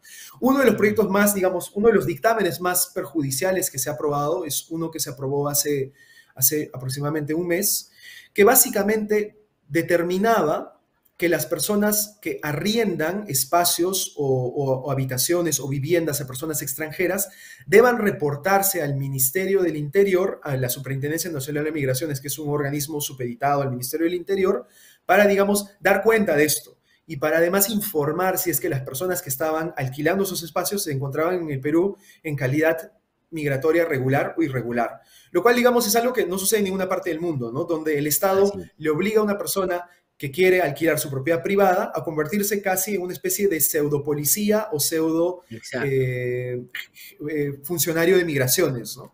Eh, pues eso, digamos, son, ese son el, esos son el tipo de leyes que se están aprobando en el Congreso ahora y que la verdad son, es lamentable, porque como tú mencionas, Glatzer, el Congreso podría ser un contrapeso a las, a las posiciones abiertamente discriminatorias que ha tomado el Ejecutivo, digamos, con respecto a este tema, y quizás también eh, buscar algunos, algunos réditos dentro de la población, al menos congraciarse de mejor manera con la aprobación eh, o buscando una aprobación en la población de esa manera, ¿no? Cosa pues Sí. que evidentemente no, no, no ha pasado hasta ahora, ¿no? Claro, porque se tiende a creer, y por eso es que los políticos apuntan en esa dirección, que en el Perú la mayoría de los peruanos y peruanas están totalmente en contra de la migración y quisieran que todos los venezolanos y venezolanas se fueran. Y eso no es así, porque además las encuestas ya lo empiezan a decir. Hay altos niveles de integración que se han producido, donde más bien venezolanos y venezolanas son parte ya de nuestra cotidianidad y, digamos, están eh, desenvolviéndose en espacios y en oficios que contribuyen a nuestra propia, a nuestro propio bienestar. Yo creo que no hay ninguna persona que en este momento nos está siguiendo que no haya tenido contacto con alguna persona migrante en algún momento y que le haya ayudado a resolver un asunto que en ese momento estaba, eh, digamos, buscando resolver. Y eso tiene que ver con las relaciones que hemos establecido. Yo siempre he sostenido que hay más bulla en los medios y en la política que en la realidad. Y ahí creo que hay que ir trabajando más focalizadamente en los territorios para fortalecer esos vínculos. No sé, para terminar algo más, Estefano, eh, a propósito de esta conversación, agradeciéndote muchísimo, por supuesto, por tu participación. No, solamente mencionar que, bueno, nosotros desde el IDL vamos a hacer un seguimiento justamente a todas las, seguramente a todos los discursos y las políticas también y, las ideas que se plasmen en los planes de gobierno, que algunos de ellos ya se vienen difundiendo justamente durante este contexto de elecciones regionales y municipales que se avecinan, para eh, hacer propiamente esto, ¿no? Eh, refutar y combatir estos discursos de odio, porque finalmente son esos, son discursos de odio, que lo que más buscan es alejarnos, cuando en realidad digamos, hay mucho más que ganar si nos integramos y si, digamos, entendemos que a pesar de las diferencias que puedan haber con el otro, eh, este, este país, o sea, el Perú, podría ser un país mucho más rico y mucho más enriquecedor para toda su población si es que, digamos, dej- dejamos que estas personas vengan y puedan laburar de manera tranquila y contribuyan de la, manera, la mejor manera que ellos puedan, porque estoy seguro que va a ser así, ¿no? Eh, Una de las características que nosotros tenemos como peruanos es que la mayoría de nosotros tenemos familiares que están en el extranjero Así y que, digamos, de alguna u otra manera se parten el lomo día a día para o enviar remesas o, digamos, eh, llevar el nombre del país en alto afuera. Y, digamos, creo que es, es momento de que nosotros también podamos dar la oportunidad de eso para, para estas personas, ¿no? que en su gran mayoría han venido a hacer el bien y han venido a, a poder buscar un futuro mejor para ellos. ¿no? Sí, no, y además creo que hay que anotar algo adicional, eh, estando de acuerdo plenamente contigo, de que Venezuela fue un país que acogió a muchos peruanos y peruanas entre los 80s y inicios de los 90s, que la situación aquí era muy complicada, como todos deben recordar. Estefano, muchísimas gracias por haber conversado con nosotros esta mañana. Vamos a seguir hablando de este y otros temas seguramente. Que vaya todo bien. Muchísimas gracias. Muchas gracias, Glatzer. Muy Bueno, amable. buenos días Estefano contigo y con todos sus conversado con oyentes. nosotros. Él es investigador del IDL, es el responsable del proyecto de movilidad humana que lidera justamente el Instituto de Defensa Legal. Voy a ir a una pausa, regreso un instante, estamos aquí en No hay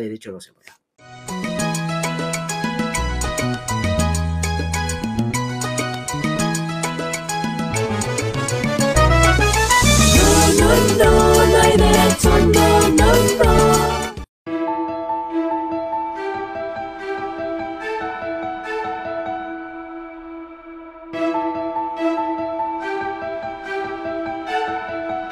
Nuestros cerros, nuestros apus que tanto amamos están siendo destruidos eh, frente a nuestros ojos. Nuestros ojos de agua y nuestros manantiales han sido contaminados con metales pesados, también nuestros cuerpos.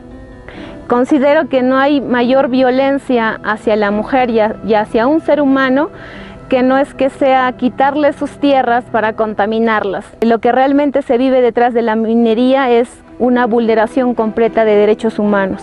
Nuestro derecho a la vida, a un ambiente sano, nuestro derecho a la salud, nuestro derecho a la propiedad indígena. Estas empresas extractivas que vienen desde otros lugares del país, donde nacieron los mismos tratados internacionales, hoy no son respetados. Recuerden que cada vez que consumimos eh, todo lo que viene de los minerales, también se consume dolor, también se consumen lágrimas, también se consumen niños con metales pesados. Pedimos a los países miembros de la Unión Europea el debate y la aprobación de la ley de debida diligencia para el cumplimiento y la garantía de los derechos humanos de los pueblos indígenas, porque el derecho humano es un derecho universal.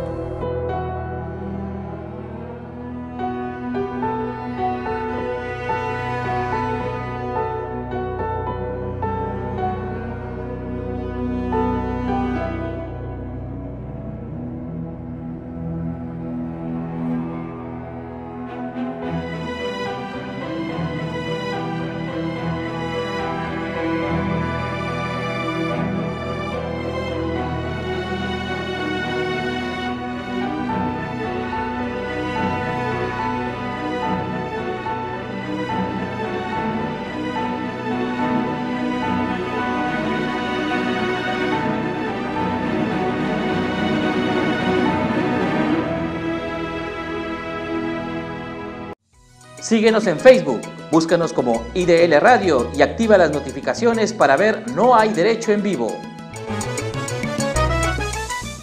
Suscríbete a nuestro canal de YouTube, búscanos como IDL Radio y activa las notificaciones para ver No hay derecho en vivo.